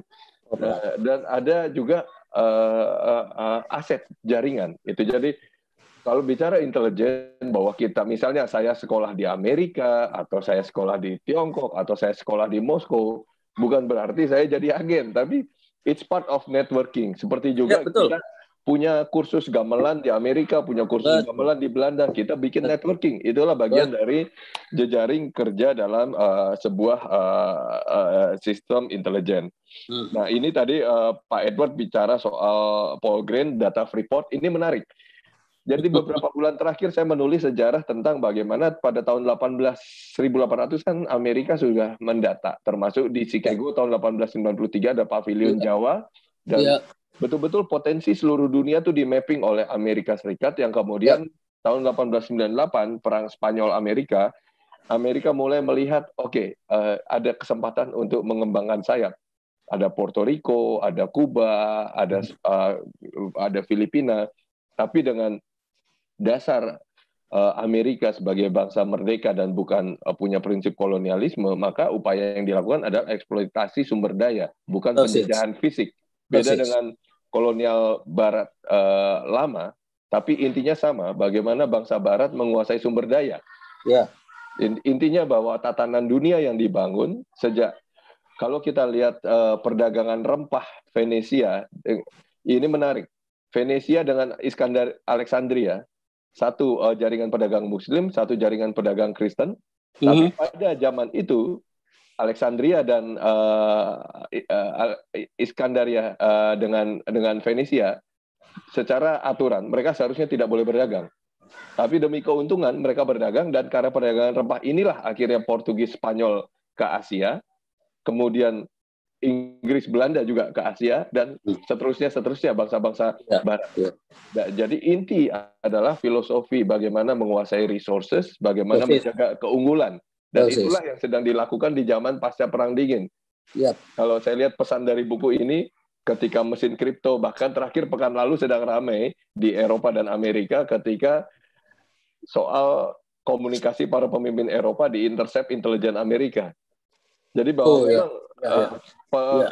pertemanan itu relatif dan kepentingan masing-masing negara lah yang paling utama. Kalau kita lihat Ya. dari eh, uraian-uraian disampaikan Profesor Kisor Mahbubani, eh, Oh. ya beliau selalu menceritakan pentingnya menjaga stabilitas ASEAN, bagaimana eh, kontestasi antara Amerika dengan Tiongkok, bagaimana ASEAN tetap utuh sebagai satu blok dan bagaimana kita melihat kepentingan kita sebagai yang paling depan. Nah, eh, ini ada beberapa pertanyaan. Eh, saya coba pilah eh, yang menarik nih. Ini ada yang mirip dari Pak Gautama eh, Yudos, Pak Gautama Safri dan Dr. Da- Anil Dawan. Bagaimana operasi kontra kita? Nah, ini ini ini ini menarik kalau saya lihat di tulisannya Bung Henry dikaitkan dengan beberapa ka- kajian yang sejaman sesudah tadi Pak Edward juga bilang zaman Pak Harto kita juga dekat ke barat. Itu kan menarik pada tahun 70 80-an kita banyak memberikan fasilitas buat eh, barat termasuk kerjasama intelijen. Kalau sekarang ada eh, Five Eyes zaman itu eh, kita melakukan monitoring terhadap kedutaan-kedutaan Blok Timur dan kantornya hari ini masih ada dekat Masjid Sunda Kelapa itu walaupun, walaupun tidak tidak difungsikan sebagai stasiun monitoring lagi tapi masih digunakan sebagai salah satu lembaga uh, intel sandi kita. Nah, ini bagaimana kontra intelijen yang dilakukan Indonesia eh, mungkin Pak Edward bisa menjawab dan Bung Henry menjawab dari Dr. Anil Dawan dan Pak Ga- Gautama Safri. Silakan, Pak. Waduh. Kalau untuk hal mengenai isu ya bagaimana operasi kontra intelligence kita, saya rasa saya tidak punya kompetensi untuk itu Mas Iwan ya. Tapi barangkali Mas eh, Mas Henry punya background ya yang tidak dimunculkan di dalam buku ya ketika menulis buku ini kan kita mengumpulkan berbagai informasi ya untuk memahami landscape-nya seperti apa gitu ya. Eh, apa namanya eh, operasi kontrak counter kita saya rasa saya tidak berkompeten ceritakan. Tapi kalau diambil di zaman uh, Orde Lama ya, Mas Iwan barangkali ya masih ingat uh, berbagai instansi ya sipil militer ya punya badan-badan intelnya di kita ya punya ya. Salah satu yang kuat ya dan dominan dan kemudian ditumpas adalah BPI ya Mas Iwan ingat ya Biro Badan Pusat Intelligence ya di bawah pimpinan Waperdam 1 eh, Dr. Subandrio merangkap Menteri Luar Negeri. Ya. Uh, ini kemudian berhadap-hadapan ya dengan intelnya militer angkatan darat khususnya ya. Tapi uh, militer-militer yang lain juga punya ya uh, apa namanya bagian-bagian unit-unit yang mengurus intelligence ya Eh, kita ingat barangkali salah satu anggota Dewan Revolusi yang utama ya walaupun yang bersangkutan sendiri membantah ya Letnan Kolonel penerbang ya Heru Atmojo. Di dalam Dewan Revolusi hanya disebut Letnan Letnan Kolonel Heru ya. Padahal uh, Auri dulu uh, standarnya adalah Letnan Kolonel udara penerbang gitu. nah Heru bisa siapa saja Heru Atmojo dan lain-lain ya Pak Heru almarhum ini uh, kan sering disebut uh, Intel AU, Intel AU ya. Uh, dinas Intel AU itu ada sendiri ya. Kalau saya tidak salah, Pak Heru Atmojo ini dinas uh, unit bagian intelijen udara, pemotretan ya yang kemudian diterjemahkan hasil pemotretan itu untuk pengambilan keputusan operasi militer ya tapi kemudian waktu itu uh, ada cerita sendiri ya. Kita tahu bahwa akhirnya ya, Pak uh, Menpangau waktu itu Laksamana Madia Omardani memerintahkan Ruat Mojo untuk mencari info ya. Bahkan ada gerakan oleh perwira perwira angkatan darat terhadap perwira-perwira tinggi angkatan mereka sendiri ya. Itu cerita yang lain. Tapi saya ingin katakan uh, saya sendiri tidak tahu landscape-nya seperti apa ya. Operasi kontra kita ya jadi saya merasa tidak berkompeten Mas Iwan untuk menjawab ini. Ya, barangkali Mas Iwan sendiri yang harus menjelaskan nih. ya. Baik, Bung Henry, silahkan. Ya, eh, terima kasih. Eh, pertanyaannya sangat menarik dan saya kira sulit juga. Eh, memang di buku saya saya tidak secara spesifik mengulas satu tulisan misalkan eh, kontra intelijennya terhadap operasi-operasi ini. Saya lebih menyajikan kepada eh, peristiwa-peristiwa gitu, peristiwa-peristiwa dari operasi rahasia CIA di Indonesia. Tapi sedikit memberikan gambaran bahwa yang saya lihat justru counter intelligence saya kira memang pasti akan muncul dari uh, intelijen kita uh, yang uh, kontra dengan Amerika. Tadi Pak Edu sudah menyinggung uh, bahwa uh, Dr. Subandrio memimpin BPI badan intelijen kita, tapi kan sejauh ini kita uh, tidak terlalu begitu tahu bagaimana upayanya waktu itu. Malahan yang sangat uh, saya kira kurang begitu uh, apa kritis ketika kasus uh, dokumen Gilchrist kan gitu.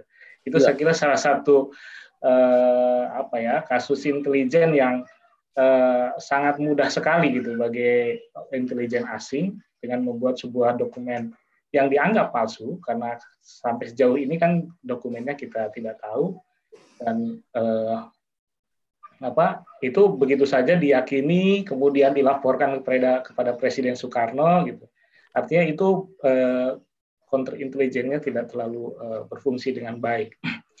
Tapi justru yang saya lihat adalah bahwa uh, Indonesia sejak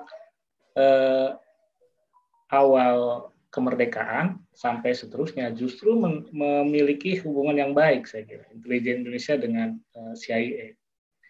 Salah satu contohnya misalkan agen intelijen pertama CIA di Indonesia namanya Arturo Campbell Halo. tahun 47 dia kerja awalnya di konsulat konsulat eh, Amerika di Batavia. Nah, yang membantu dia itu seorang kolonel namanya eh, eh, saya nggak lupa namanya ya dia seorang kolonel di di di Yogyakarta.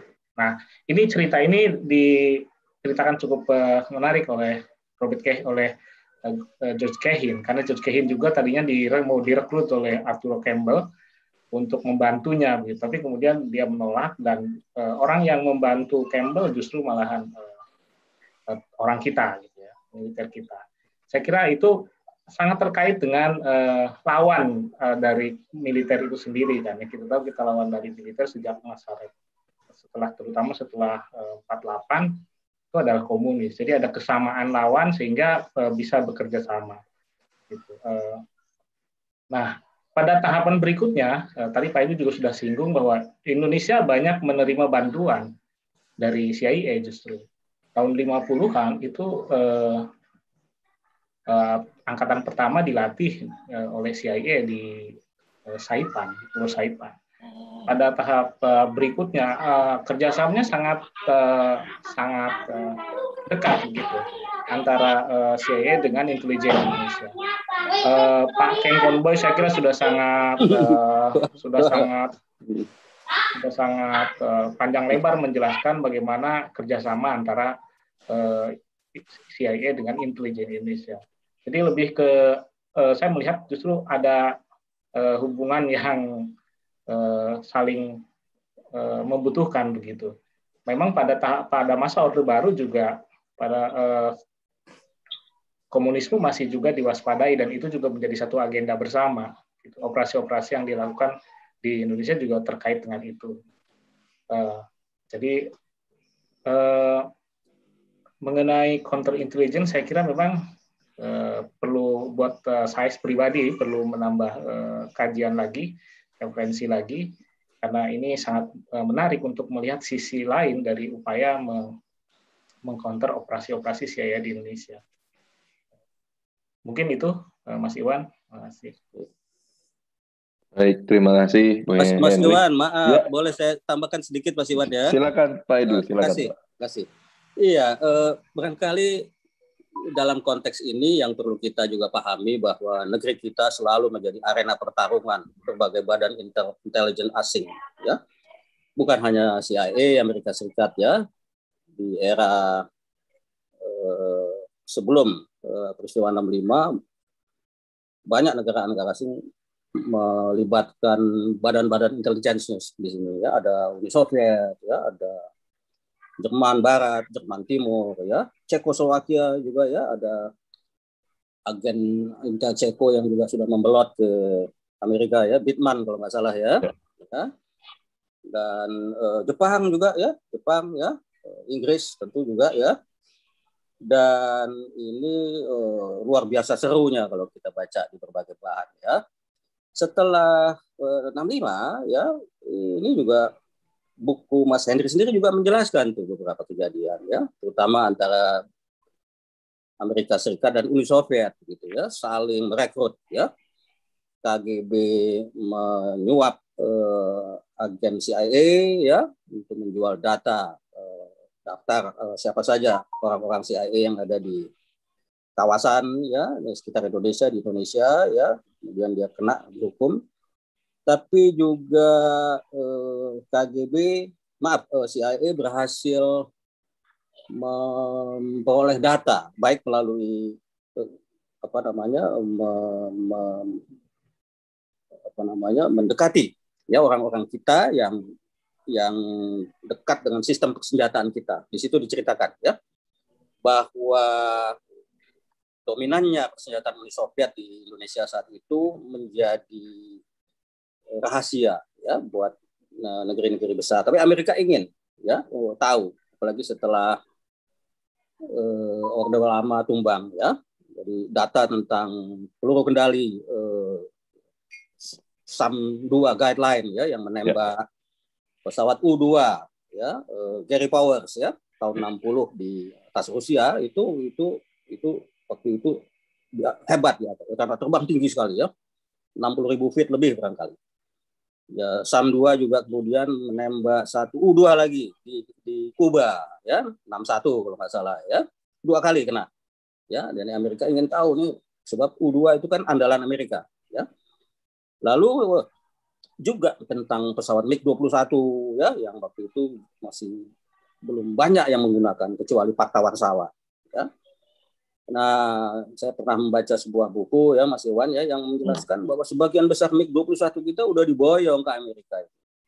Ya, dan ada nomor seri sekian ada di mana, nomor seri sekian ada di mana, kemudian dibentuk tim khusus untuk uji coba pesawat ini diadu dengan pesawat-pesawat Amerika yang dominan pada waktu itu, Phantom ya, atau eh, Thunder Chief ya, yang waktu itu dominan di perang Vietnam. Ya. Nah itu kemudian ya. Tapi yang saya ingin katakan adalah bahwa saya uh, uh, pastilah kita badan intelligence kita punya unit yang namanya kontra intelligence pasti ya. Karena itu kan bagian dari keseluruhan ya sistem badan intelligence intelligence ya. Tapi saya tentu saja tadi saya katakan saya tidak berkompeten untuk menceritakan ini ya. Bahwa itu ada pasti. Tapi bagaimana wujudnya organisasinya strukturnya aktivitasnya ya mohon maaf terima kasih Mas Iwan baik Terima kasih uh, Pak Edu. Uh, menarik sekali. Jadi tadi yang disampaikan Pak Edu uh, betul. Jadi waktu awal-awal Orde Baru ini menarik. Uh, hubungan kita dekat dengan Blok Barat, dengan Amerika juga. Bahkan ketika awal misi pengeboman Vietnam Utara, itu kan uh, Amerika menggunakan pangkalan di Thailand, ya. uh, udon uh, udon raja tani uh, uh, uta, utapau dengan nakon hmm. raja sima korat ya, ya. korat ya. dan utapau nah Uh, tapi yang sedikit tidak diketahui dan sampai hari ini belum dibuka bagaimana ada pangkalan-pangkalan di wilayah kita yang kadang dipakai mendarat pesawat-pesawat US Navy. Ya. Itu, itu, itu, itu tidak diceritakan itu dan tadi yang Pak Pak Pak Pak, uh, Pak Edu cerita soal Sesko tahun 60-an. Jadi ini kalau kita bahas kita letakkan dalam konteks zamannya pada ya. ketika uh, perang dingin dan melawan blok timur uh, ketika itu uh, uh, para senior angkatan darat melihat ya harus uh, di counter, di counter antara lain ya waktu itu um, mitra terdekatnya adalah uh, Amerika Serikat. Tapi yang menarik adalah ketika zaman itu Seskoat draft kebijakan doktrin-doktrin pendidikan Seskoat itu di, disusun oleh dukungan Rand Corporation. Yang kalau kita Poker, lihat, ya, dengan tokohnya Poker ya. Ya, ya dan dan dan ada Letkol Suwarto Wah. Iya dan uh, uh, tapi ketika sesudah era reformasi doktrin yang dibuat yeah. tahun 60 ini sama sekali tidak ada revisi atau perbaikan. Padahal itu cara membentuk pola pandang dan kebijakan yang didasari pada zaman perang dingin Persis. itu terjadi tahun 1960 60 tahun silam digunakan untuk mendidik uh, perwira-perwira muda hari ini dengan cara berpikir 60 tahun silam. Ini ini kan jadi per, akan jadi persoalan. Tadi juga ada pertanyaan dari saudara Rahman Ardianto bagaimana peran Indonesia membantu uh, sharing soal rudal SA2 ya betul. dan mungkin kalau ada kesempatan para audiens uh, monumennya salah satunya ada di uh, monumen di uh, di museum Mandala Halim Perdana Kusuma juga ada Pak baru. Oke okay, betul. Uh, di di di dekat di dekat di dalam kompleks militernya itu iya. Iya, Jadi betul, betul, betul. Uh, buat saya sih tidak masalah politik itu dinamis dan kerjasama selalu terjadi apa pun bentuknya, apalagi nature-nya intelijen itu secara umum ya komunikasi dan berteman. Jadi musuh pun harus ditemani kalau dalam dunia intelijen. Tapi persoalannya kalau kita belajar dari pengalaman Thailand dan Indonesia pada periode yang sama maupun Singapura, Thailand semasa perang Vietnam banyak membantu diam-diam, tapi benefitnya bisa dirasakan rakyat Thailand hari ini, yaitu jalan raya di Thailand dari utara sampai perbatasan Malaysia, jalan rayanya seperti jalan tol Jagorawi. Itu sangat menguntungkan buat petani Thailand. Nah, kalau kita berdasarkan pengalaman zaman itu, kerjasama-kerjasama yang terjadi, benefitnya dinikmati kekuasaan dan sekelilingnya, bukan yeah. rakyatnya. Dan yeah. juga kalau tadi bercerita Pak Edu bercerita soal uh, Alan Pope, kemudian diampuni Bung Karno, uh, dan habis cerita malah katanya ada cerita dapat pesawat kepresidenan dan lain-lain pada oh, periode iya. yang sama Oh iya betul. Uh, iya betul. pada betul pada periode yang sama Lee Kuan Yew menah, ada agen CIA tertangkap di Singapura. Lee Kuan Yew ditawari uang, Lee Kuan Yew tidak mau dan akhirnya sampai akhirnya pemerintah Singapura Amerika minta maaf secara resmi ke Singapura. Dan kalau itu diuangkan nilainya beberapa ratus juta dolar hari ini. Terus dan itu jadi salah satu kebanggaan Singapura bahwa presiden kami, eh, pemimpin kami waktu itu memilih menolak untuk berhengki-pengki dan sampai negara besar Amerika Serikat minta formally apologize. Gitu. Tapi itu menarik. Bagaimana uh, bagaimana kita bisa belajar dari sejarah, termasuk bapak tadi kan alumni di Hawaii. Tahun 96 Presiden Clinton formally dan Kongres juga minta maaf kepada rakyat Hawaii. di Hawaii. Itu maksudnya belajar dari sejarah. Betul. betul. Dan tidak tertutup untuk oke okay, apa yang kita lihat ini kurang di masa lalu kita berani buka dan jadi itulah bahwa dunia intelijen dunia telik sandi ini uh, uh, dinamis. Nah ini ada pertanyaan berikut untuk Bung Henry ini menarik uh, yang nanya uh, Ibu Rensina Lubis. Nah sesudah intervensi CIA apakah diketahui pemerintah TNI atau intelijen Indonesia apakah negara-negara berkembang memang powerless dalam mengendalikan politik keamanan dalam negeri sehingga harus sesuai dengan tatanan yang disusun oleh Amerika Serikat. Uh, ini untuk Pak Edu juga. Dan yang kedua, khusus untuk penulis, setelah buku ini apakah akan menulis seputar operasi intelijen uh, eh, KGB, uh, mungkin sekarang sudah ganti ya, GRU ya, uh, Mossad di Indonesia, atau konflik rebutan kepentingan antara CIA, uh, KGB, MSS dan Mossad di Indonesia. Ibu Reksina Lubis. Silakan Bapak-bapak.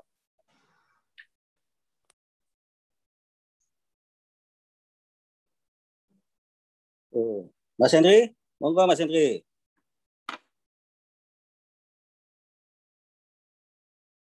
Belum ada? Oke. Kalau gitu saya sedikit ya Mas Iwan ya. Mas Iwan ya. Oke. Oke, terima kasih Mas Iwan. Halo. Silakan, silakan Oke. Pak Pak Edu. Ah, ah. Baik, terima kasih. Ini pertanyaan yang bagus dan ideal sekali dari Ibu. Ibu siapa tadi Mas Mas Iwan? Bu Rengsina Lubis. Oh, Bu Rengsina Bu Lubis ya. Bu Lubis ya. Uh, ini pertanyaan yang memang seharusnya kita renungkan begitu ya. Mau terus-terusan begini. Ya sistem uh, struktur dunia konstelasi dunia dikuasai oleh segelintir negara ya yang apa ya mengaca-ngaca yang menetapkan maunya mereka sendiri ya. Uh, misalnya saja uh, Dewan Keamanan PBB begitu kan ada Dewan Keamanan ya yang anggota tetap itu kan punya veto itu ya puluhan negara ratusan negara punya pendapat tertentu di veto sama satu ya selesai sudah ya selesai udah ya. Uh, Bung Karno sudah lama ini menyadari ini. Kalau kita renungkan Bung Karno ya, pendiri bapak bangsa kita ini luar biasa ya. Tahun 60 kan dia sudah berpidato di forum PBB to build the world anew ya. Waduh, orang kaget itu apa-apaan ini ya keluar dari PBB bikin Konevo ya bikin Ganevo ya yang memang lihat Bung Karno sebagai instrumen-instrumen gitu ya untuk menguasai dunia semau-maunya negara-negara besar itu ya. Tapi dalam reality kemudian uh, gugur semua dan Bung Karno sendiri akhirnya lengser ya dan tumbang itu memang realitasnya begitu ya. Memang harus harus apa kuat-kuatan akhirnya begitu ya kuat-kuatan karena selain ada otak juga ada otot ya Mas Hendri ya eh Mas Iwan ya Nah, eh, sistem dunia struktur ini yang yang yang memang ya kesadaran itu tentu penting terus ya diingat-ingat ya, terus diingat ya. Di dalam era sekarang eh, kesewenang-wenangan itu makin terasa itu, makin terasa ya. Kita sudah lama mendengar ya. Bahkan kalau perlu ya kita eh, para hadirin semua ingat ya. Kalau perlu pun uh, ketua uh, apa namanya uh, sekretaris PBB ya uh, Dag Hammarskjöld waktu itu ya Mas Iwan ya dibunuh. Dibunuh dibunuh ya. Karena tidak sejalan dengan strateginya Alan Dulles sebagai bos CIA pada waktu itu ya. Bukti-bukti sudah memperlihatkan. Tidak bukan kecelakaan pesawat biasa itu. Jatuhnya pesawat Dag Hammarskjöld di Kongo itu ya lalu Patrice Lumumba yang juga ingin membebaskan rakyat Kongo selesai semua ya dan itu semua satu persatu ya. Ya itu yang saya katakan. Sedikit mengenai memang saya tadi uh, hanya menyebut ketika Alan Poe dibebaskan pertukarannya tidak terbatas pada pesawat Hercules C-130 dan Jakarta Bypass. Mas, Mas Iwan betul ya. Ada pesawat presidenan ya juga buatan Lockheed satu pabrik dengan Hercules. Ya. C-140 Jetstar ya. mesin 4 Ya. Kalau nggak salah beberapa tahun yang lampau eh, bangkainya masih ada tuh di Halim Mas Iwan. Hmm, hmm, hmm. Ya Sabta Marga sama Pancasila. Trisakti ya? enggak Pak? Eh, enggak tahu tuh. Ada satu ada, ada di, dua di, atau tiga tuh? Di Jogja satu di, di Jogja. Museum Jogja ya. betul. Pancasila ya. betul. Itu hebat itu bis, semacam bisnis jet waktu itu ya. Uh-uh. Itu wah keren itu ya. Lalu helikopter kepresidenan, Sikorsky yeah. punya itu. Iya, yeah, S61 yeah, ya. Betul. Itu Kennedy yang ngasih hadiah tuh. Jadi betul itu ya. Jadi yeah. dimanjakan lah waktu itu. Tapi Kennedy harus hilang juga. Yeah. Ya. Yeah. November 63 Kennedy hilang dan Bung Karno ya punya intuisi itu. Kalau yeah. kita baca di dia dibunuh kata Bung Karno dan Bung Karno nggak mau lihat filmnya itu. Ya. Yeah. Strategi itu tuntas setelah uh, Kennedy selesai, tinggal Bung Karno. Ya. Tuh. Itu itu itu saja sedikit dari saya. Terima kasih. Baik, uh, terima kasih uh, Pak Edu. Ini nimpalin lagi nih. Ini menarik karena uh, tadi Bapak bicara soal nasibnya JFK dan Bung Karno. Memang dan di awal tadi soal pesawat yang membawa delegasi Tiongkok di bom itu. Mm -hmm. Ini uh, kalau dari kacamata intelijen memang dan keamanan memang tidak ada yang kebetulan karena sesudah peristiwa sesudah konferensi Asia Afrika di Bandung tahun 56 kan langsung Nasir digoyang dengan uh, krisis oh, iya. West. Jadi Mas... kita lihat empat orang tokoh dunia yang pengen membuat dunia lebih adil. Mm-hmm. Bung Karno, Nehru, Chou Enlai, Nasir, mm-hmm. semua dikerjain oleh kekuatan lama. Jadi uh, dan kalau bicara situasi hari ini, ini juga ada pertanyaan menarik. Uh, kalau sesudah kesehatan apa poin yang menjadi ke, ke, kepentingan operasi Amerika, kesehatan ekonomi politik. Kalau kita lihat tadi pembicaraan tadi bahwa dulu ada perebutan soal rempah, perebutan soal minyak gas, perebutan soal resource. Kalau kita cermati terakhir kan mungkin soal teknologi 5G dan 6G ini akan merubah dunia dan harus tetap di di tangan kekuasaan lama kan. Ini makanya jadi sensitif soal perang dagang dan lain-lain. Mungkin gimana tuh? Uh, silakan Pak Pak Bung Henry, Pak Edward. Dari Bung Eko Susilo. Monggo Mas Henry. Ya, uh, saya mundur tadi ke Ibu Rengsina. Ya, tadi Pak Edu sudah menjelaskan mengenai uh, kenapa kita negara-negara uh, yang baru merdeka kemudian begitu mudah misalkan di diintervensi. Karena memang uh, kekuatan Amerika Serikat cukup besar waktu itu dan juga dengan menggunakan eh, kelompok-kelompok yang memang bertentangan dengan uh, lawan politiknya atau pemerintahan yang sedang berlangsung gitu. Jadi memang ada kombinasi kekuatan yang yang datang dan dengan yang ada di dalam negeri masing-masing.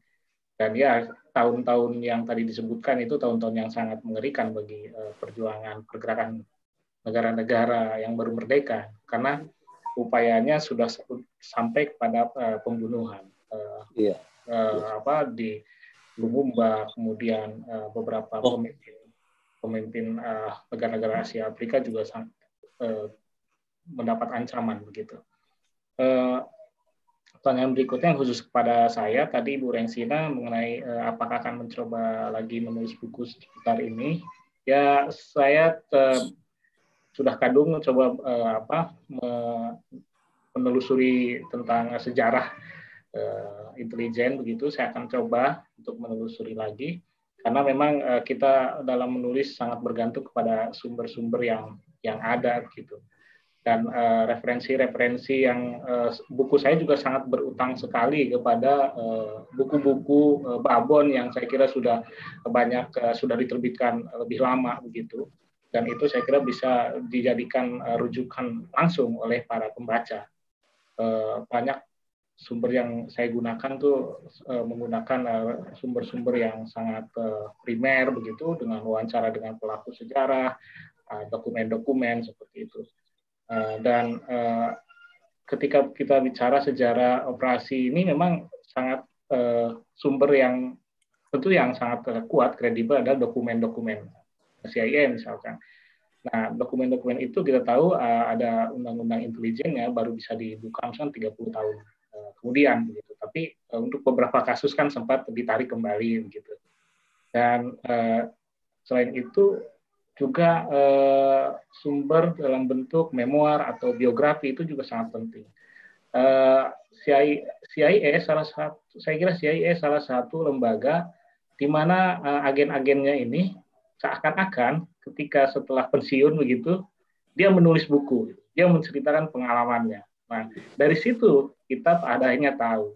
Meskipun itu juga perlu uh, di cross check atau dikonfirmasi kepada sumber lain. Jadi itu sangat uh, membuka mata kita untuk mengetahui sepak terjang uh, apa operasi intelijen di Indonesia. Uh, satu buku terbaru saya kira yang cukup menarik ya, yang sudah diulas oleh John Macbeth ya di Asia Times kalau tidak salah, itu memoir dari seorang agen CIA di Indonesia yang terlibat dalam operasi Hebring, hmm. operasi tadi. Hmm. Nah, namanya uh, Daniel Cameron kalau nggak salah.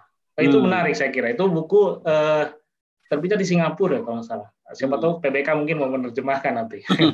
itu boleh, menarik. Boleh. Itu. judulnya aja udah Indonesia. Jadi itu pengalaman uh, Cameron uh, sebagai agen CIA di Indonesia tahun 60-an yang terlibat dalam operasi Habring tadi operasi yang disebut salah satu operasi tersukses CIA terhadap uh, Uni Soviet itu berlangsung di Indonesia. Ya, ya. Dengan uh, saya tadi lihat ada ada pertanyaan yang menyinggung itu mengenai SAM 2 tadi. Uh, di beberapa sumber uh, sebelum buku ini memang disebutkan bahwa um, uh, operasi Habring itu berhasil mendapatkan informasi data manual seperti itu yang kemudian digunakan oleh Amerika Serikat untuk uh, membuat uh, dalam artian uh, pencegahan atau penangkal misalnya untuk uh, mencegah uh, SAM 2 tadi dalam perang Vietnam misalkan. Nah, saya nggak tahu kalau misalkan ada ada bentuk fisiknya yang dijual ya gitu ya misalkan SAM 2-nya misalnya dijual ke Amerika uh, oleh orang-orang yang di sini saya kurang tahu. Yang menarik yang sudah ter, uh, terungkap di bukunya Daniel Cameron itu bahwa eh, agen lapangan dia atau aset dia yang sangat eh, penting itu adalah justru seorang Belanda namanya Wim Vermeulen kalau nggak salah. Jadi dia orang Belanda yang eh, eh, apa yang eh, punya pekerjaan di Indonesia dan punya jaringan dengan eh, tokoh-tokoh, perwira-perwira begitu. Dan eh, dari situlah dia bisa mengumpulkan informasi. Wim Vermeulen ini sangat uh, berjasa banget karena dia disebut yang mendapatkan manual SAM 2 itu gitu. Wah. Nah, jadi ini menarik gitu. Jadi uh, operasi tahun wah, wah, wah, wah. dan uh, waktu uh, seorang agensi yang membocorkan atau menjual operasi Habring ini ke KGB uh, David Bernett, dia menyebut dia juga membongkar uh, puluhan ya, puluhan agen aset gitu yang ada di Indonesia Cuma lagi-lagi kan eh, kita tidak tahu nama-nama yang disebutkan. Begitu pula eh, ada sosok yang disebut eh, sangat punya peran besar ya. Jadi ada beberapa hal yang memang kita masih tidak tahu ya.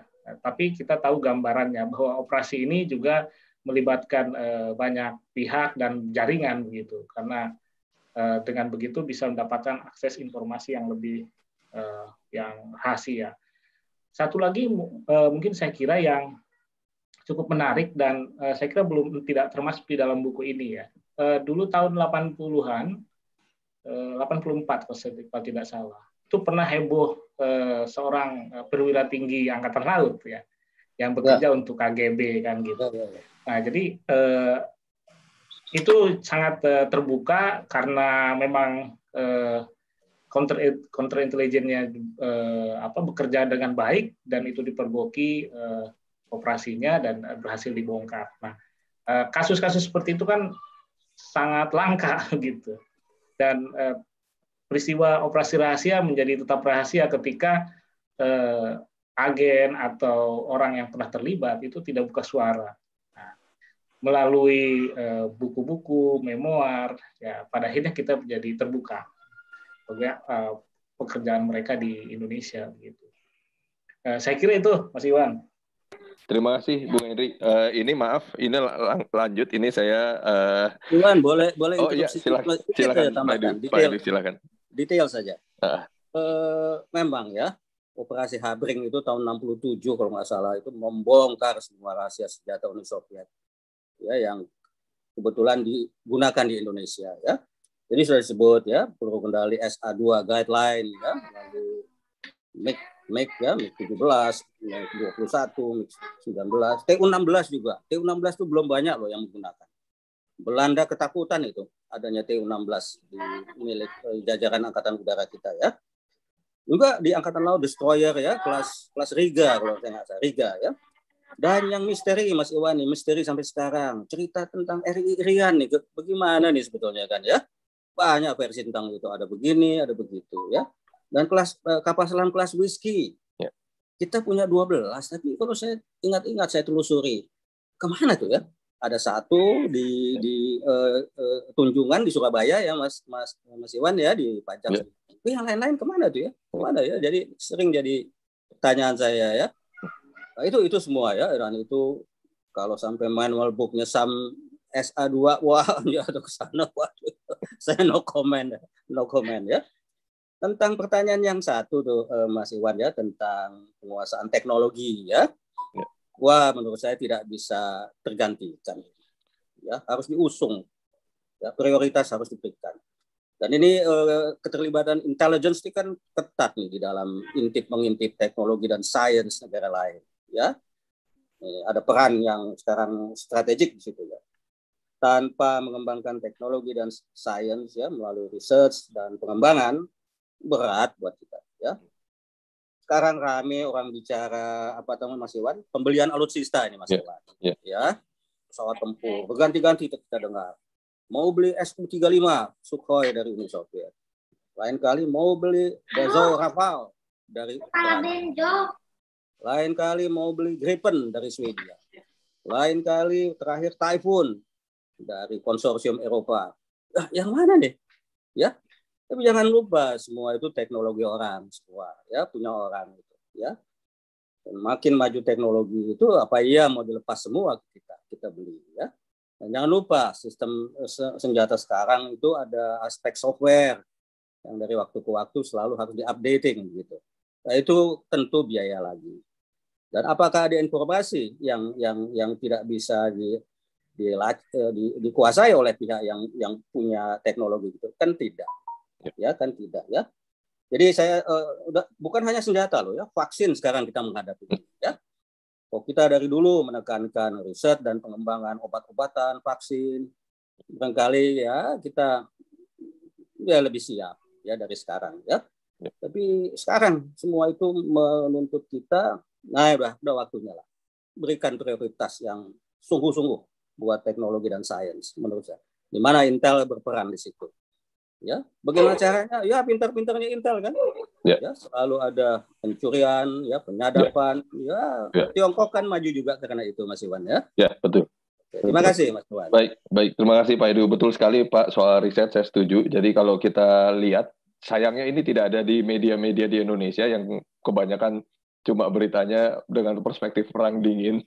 Jadi eh, beberapa tahun silam, kenapa Tiongkok akhirnya punya sistem eh, GPS semua mandiri? Jadi awalnya kapal-kapal mereka, kapal dagang mereka punya pakai eh, sistem komunikasi dari negara barat. Dan ketika ada ketegangan sedikit, pernah satu kali fleetnya itu sistem navigasinya di blackout, di jam. Dan kapalnya Mhm. kemudian tanda kutip dirazia oleh angkatan laut negara negara polisi dunia ini. Betul-betul di, di, di, di, dipermalukan dan yang kedua eh, sistem komunikasi mereka di rudal mereka kata satu ketika ada ketegangan dengan Taiwan biasa untuk untuk untuk show of force rudalnya ditembakkan ke dekat Taiwan. Yo. ternyata dengan sistem kendali rudal yang buatan barat ini lagi-lagi dijam oleh eh, negara tertentu dan Mhm. ru- rudalnya bablas. Akhirnya dari situ mereka Ampun. sadar, mereka harus mandiri, mereka bikin riset. Hari ini ada apa itu dan macam-macam itu mestinya insentif buat kita. Persis, Jadi, setuju. Ketika Bung. Karno dan para pendiri sadar kita ini hidup di antara beberapa karang besar, kita harus Ah, mandiri. iya. Persis. Kita harus mandiri dan kedua soal literasi ya, bagaimana masyarakat kita ini bisa paham, paham situasi, paham kondisi lingkungan dan sekitar. Nah, Iya. ini saya lanjutkan ada pertanyaan dari sejarawan senior kita Mas Didi Kuartanada.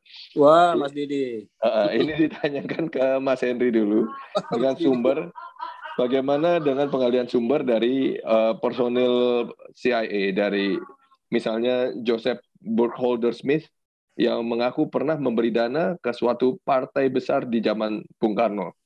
Hal ini pernah diulas oleh majalah Tempo beberapa tahun silam di zaman Orde Baru dan menimbulkan kehebohan karena orang-orang dari partai tersebut marah dan menolak tuduhan tersebut. Lalu beberapa waktu lalu sempat muncul tulisan yang mengkaitkan uh, Bapak Adam Malik dan Sultan Hamengkubuwono IX dengan aktivitas CIA di masa silam. Nah, bagaimana Mas Henry mempertimbangkan sumber-sumber ini dari sisi uh, langkah kedua tahap penelitian sejarah. Terima kasih. Pertanyaan berat. Wah, berat. Wah, pertanyaan berat ini dari senior kita. Pakar yang nanya. Uh, iya, setahu saya memang uh, informasi pertama uh, pemberian dana sebesar satu juta dolar kepada Partai Mazlumi itu memang dari uh, Joseph, ya. uh, dari memoir dia dan Eh, saya kira itu sejauh ini masih terus di uh, maksudnya masih terus muncul di dalam uh, referensi tentang operasi tentang sejarah CIA. Misalkan di buku Tim Weiner itu juga masih muncul itu gitu.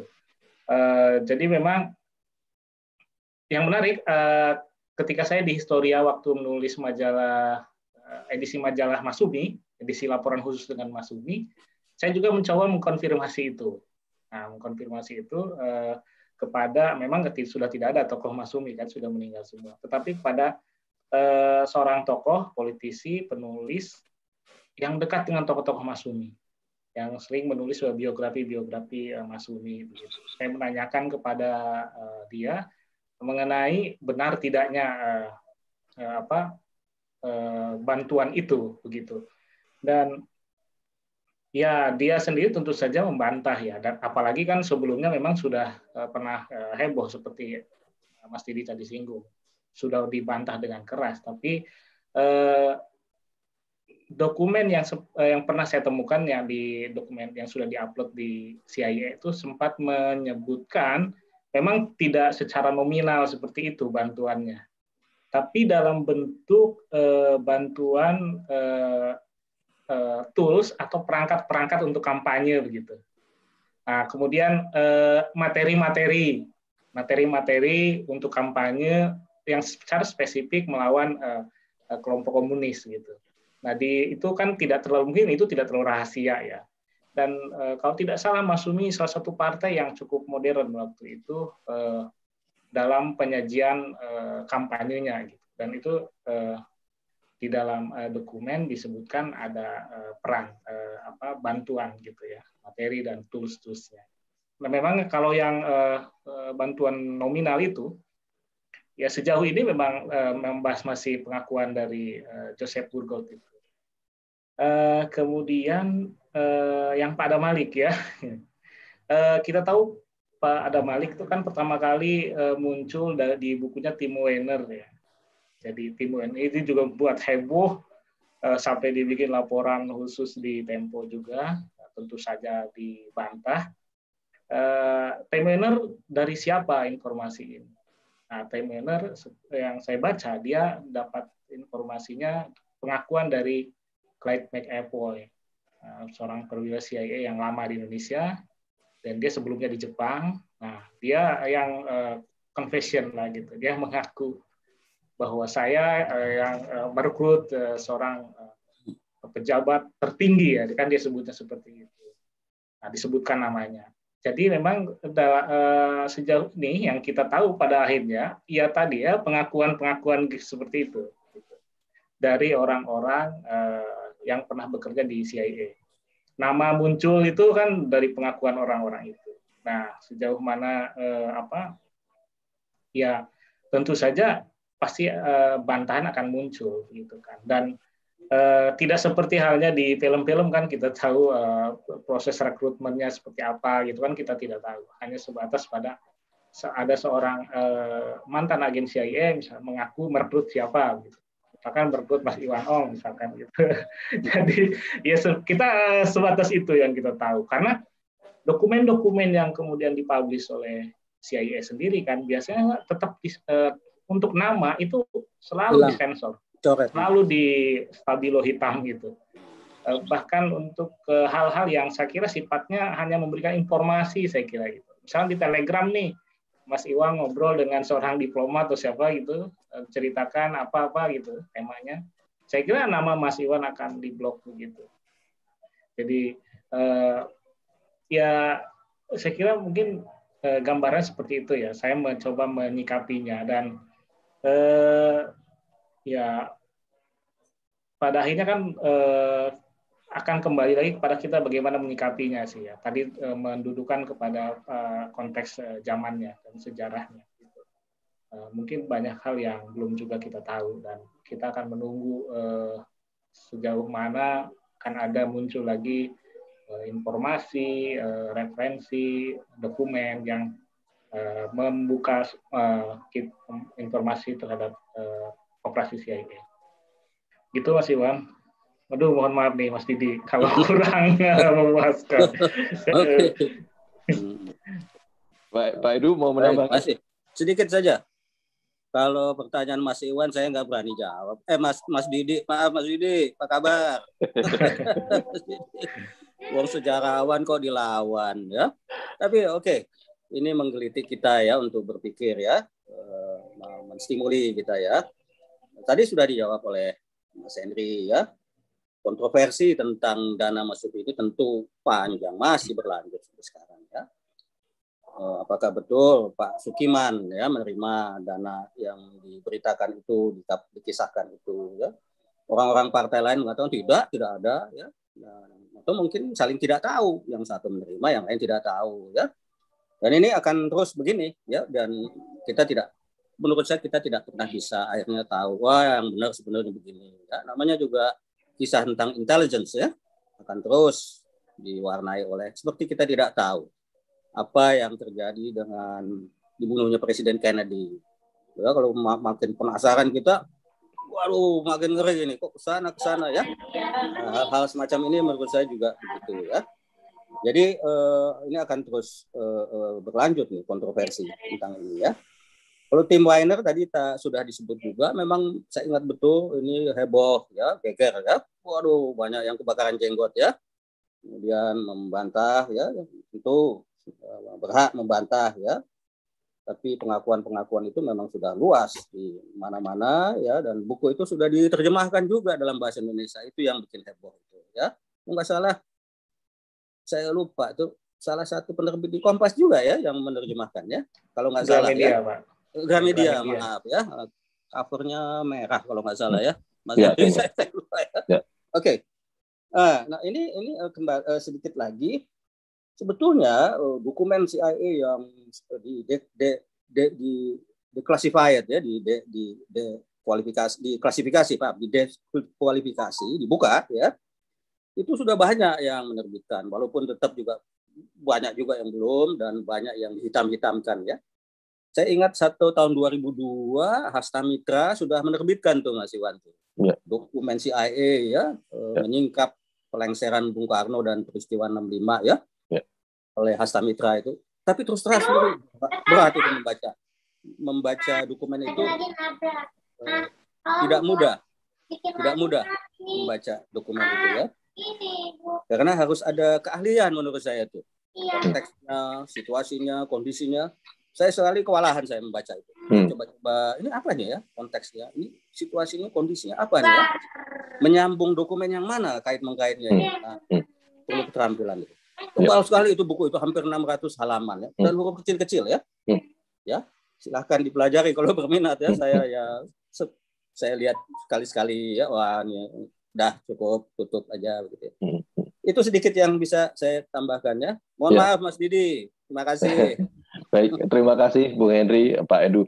Ini jadi intermezzo nih. Kita ingat tempo hari ada yang perempuan disebut agen Jerman tuh. Jadi ya. ini menarik karena kalau bicara CIA uh, eh, pada ya. zaman Presiden Trump, ada salah satu pejabat CIA yang ketika tugas di Jakarta dan uh, di Asia Tenggara, beliau posisinya adalah uh, eh, LSM. Mm. Dan kalau kita bros sebagai pejabat tinggi CIA, fotonya tuh memang jarang sekali tapi hmm. beliau ada dan dan pernah di Jakarta juga. Jadi hmm. kembali kalau bicara soal dunia telik sandi ini, jadi kan menarik ya. Jadi kalau misalnya bilateral Indonesia dengan Malaysia atau Singapura ada penempatan agen BIN atau uh, agen intelijen uh, satuan lain misalnya dari imigrasi atau kepolisian. Hmm. Biasanya kalau resmi kan disampaikan G2G, oke okay, dari Singapura ke Indonesia ini analis kami ini dari intelijen atau kami ada perwakilan BIN untuk KBRI Singapura. Jadi uh, agen yang kredensial. Tapi yang menarik kan adalah orang-orang yang agen non kredensial ini. Yang itulah makanya dalam uh, dunia intelijen ada uh, frasa bahwa uh, gagal dicaci maki, uh, hilang tidak dicari, berhasil tidak dipuji. Gitu. Hmm. Jadi kalau kayak film Argo itu kan, hmm. dia, dia dapat uh, intelligence star, tapi ya udah tidak ada upacaranya, ini dikasih, cuman ada di kantor pusat namanya bahwa ini dan kemudian bintangnya diambil lagi. Ya itulah. Hmm Uh, ada sebutan Intel Melayu juga Intel yang ngaku. ini mohon, iya. mohon, izin eh, kita tidak terasa waktunya sudah lewat waktu malah. Jadi kalau di, di sini kadang-kadang jokesnya kan begitu Mas Iwan ya. Iya. Mau apa lo? Gua Intel nih. Tapi nah, izin uh, ma maaf Bapak Bapak dan uh, ini audiens uh, kita sudah sampai di penghujung acara. Nah, ada Pak Pak Pak Bung Hendri dan Pak Edu mohon memilih satu penanya dan satu penanya. Saya juga memilih satu penanya. Ada bingkisan dari pihak penerbit buku Kompas. Nah, nah okay. mungkin uh, sambil nanti disampaikan ke Mas Patris siapa yang dipilih oleh masing-masing Bung Hendri dan Pak okay. Edu dan saya juga memilih kita akhiri sampai terima kasih banyak atas kehadiran para peserta, terima kasih para panelis, terima kasih Bung Hendri, Pak Edu uh, dan pihak PBK. Kami akhiri di sini, sehat selalu. Wabillahi taufiq wal hidayah. Wassalamualaikum warahmatullahi wabarakatuh. Waalaikumsalam warahmatullahi wabarakatuh. Ya, terima kasih Mas Iwan, Pak Edu, Pak Hendri. Mohon disampaikan nama-namanya. Nanti eh, kami mohon nama yang terpilih untuk mengirim alamat Eh, ke dalam email buku@kompas.com. Ya, silakan Mas Hendri, mungkin sudah ada satu nama penanya terbaik yang dipilih. Saya mungkin Ibu Rengsina Suryati Lubis. Ya, Ibu Rensina ya. Itu pertanyaannya apa tadi, Mas Hendri? Saya lupa, Mas Hendri. Ya. Ibu. Uh, Ibu Lubis itu tadi pertanyaannya apa tuh? Ya, itu tentang uh, intervensi CIA di Indonesia apakah diketahui oleh pemerintah TNI atau Intel Indonesia? Oh. Ya, apakah negara-negara berkembang atau dunia ketiga memang powerless? Oh, oke. Okay. Dan satu lagi ke spesifik ke saya tentang uh, proses penulisan berikutnya. Saya pilih kalau, itu, Pak. Uh, nanti Pak Edu silahkan mungkin yang lain. Kalau yang ibu yang bertanya tentang pentingnya penguasaan teknologi itu apakah ibu lubis juga tadi itu ya? Saya lupa itu. Mas Ong mungkin saya bantu. Itu pertanyaan yang menarik buat saya juga tuh. Ya. Hmm. Itu. Kalau berbeda dengan Bu Lubis, saya pilih itu. Tapi kalau Bu Lubis juga yang bertanya itu tentu sudah mewakili Mas Henry ya atau yang satu juga yang apa namanya eh, apa ya eh, maaf eh, tentang Jadi, sorry yang teknologi itu ada dua orang pak yang menanyakan uh, tentang teknologi iya yang yang yang disampaikan di uh, monggo yang pertama itu ada saudara Mahensa, dia menanyakan tentang teknologi, penggunaan teknologi untuk keperluan intelijen. Uh-uh. Terus yang kedua ada uh, saudara Mustaqim, uh-uh. sama. Nah, jadi kemajuan teknologi yang dapat penyadapan dia lebih kepada penyadapan. Oh, ya oke, okay. oke. Okay. Tapi teknologi itu memang utama ya di dalam dunia intelligence dan sekarang ya tidak bisa tanpa teknologi. Itu menarik tuh tapi saya terserahkan Mas Patris yang milih itu nah. tapi itu pertanyaan menarik menurut saya itu yang terkait dengan teknologi. Mas Patris saya ya. milih ini Bung Rahman Ardianto ini. Uh, dalam operasi Habring apakah benar rudal SAM kita kita jual ke Amerika Serikat benar-benar Indonesia berkontribusi besar membantu Amerika dalam mengalahkan senjata Soviet di perang Vietnam Selain ini kita juga menyerahkan MiG-21 ke Amerika Serikat sehingga Amerika Serikat mampu mengalahkannya. Uh, Rahman Ardianto, Janisari Library. Oh, itu bagus itu. Bagus itu. Baik, baik. Bagus. Ya, jadi untuk Ibu uh, Ibu Lubis ya, Ibu Suryati Lubis, terus Saudara Rahman Ardianto, mohon uh, mengirim alamatnya ke buku@kompas.com. Lalu juga ke Saudara Mahesa dan Mustakin ya. Oh, ya. Keduanya yang menanyakan tentang teknologi juga silakan ya. menghubungi atau mengemail ke buku@kompas.com alamat untuk kami kirimkan Nanti kami juga akan coba cek apa namanya eh, nomor telepon dan atau alamat email dari masing-masing uh, penanya terbaik. Ya. Mungkin demikian acara siang hari ini. Terima kasih banyak atas kehadiran uh, para peserta ya setia sampai siang hari ini. Juga kami terima kasih kepada penulis Mas Hendri, pada Pak Edu sebagai penanggap, dan juga kepada Mas Iwan Santosa yang uh, setia menjadi moderator yang menyemarakan siang hari ini. Amin. Dan acara hari ini dan itu terima kasih selamat siang. Selamat beraktivitas di Terima kasih semua. Terima kasih maaf. banyak. Terima kasih. Mohon maaf kalau ada yang kurang-kurang dari saya. Ya. Ya, mohon maaf. Ya. Sama-sama. Mohon maaf atas kekurangan. Ya, terima kasih ya Bapak. Sama-sama. Ya Pak Ibu, terima kasih banyak. ya. Ya. Ya. Ya, Oke. baik silakan. Ya. Terima kasih ya Mas Hendri. Mas Denal juga terima kasih ya dari tim TI Kompas atas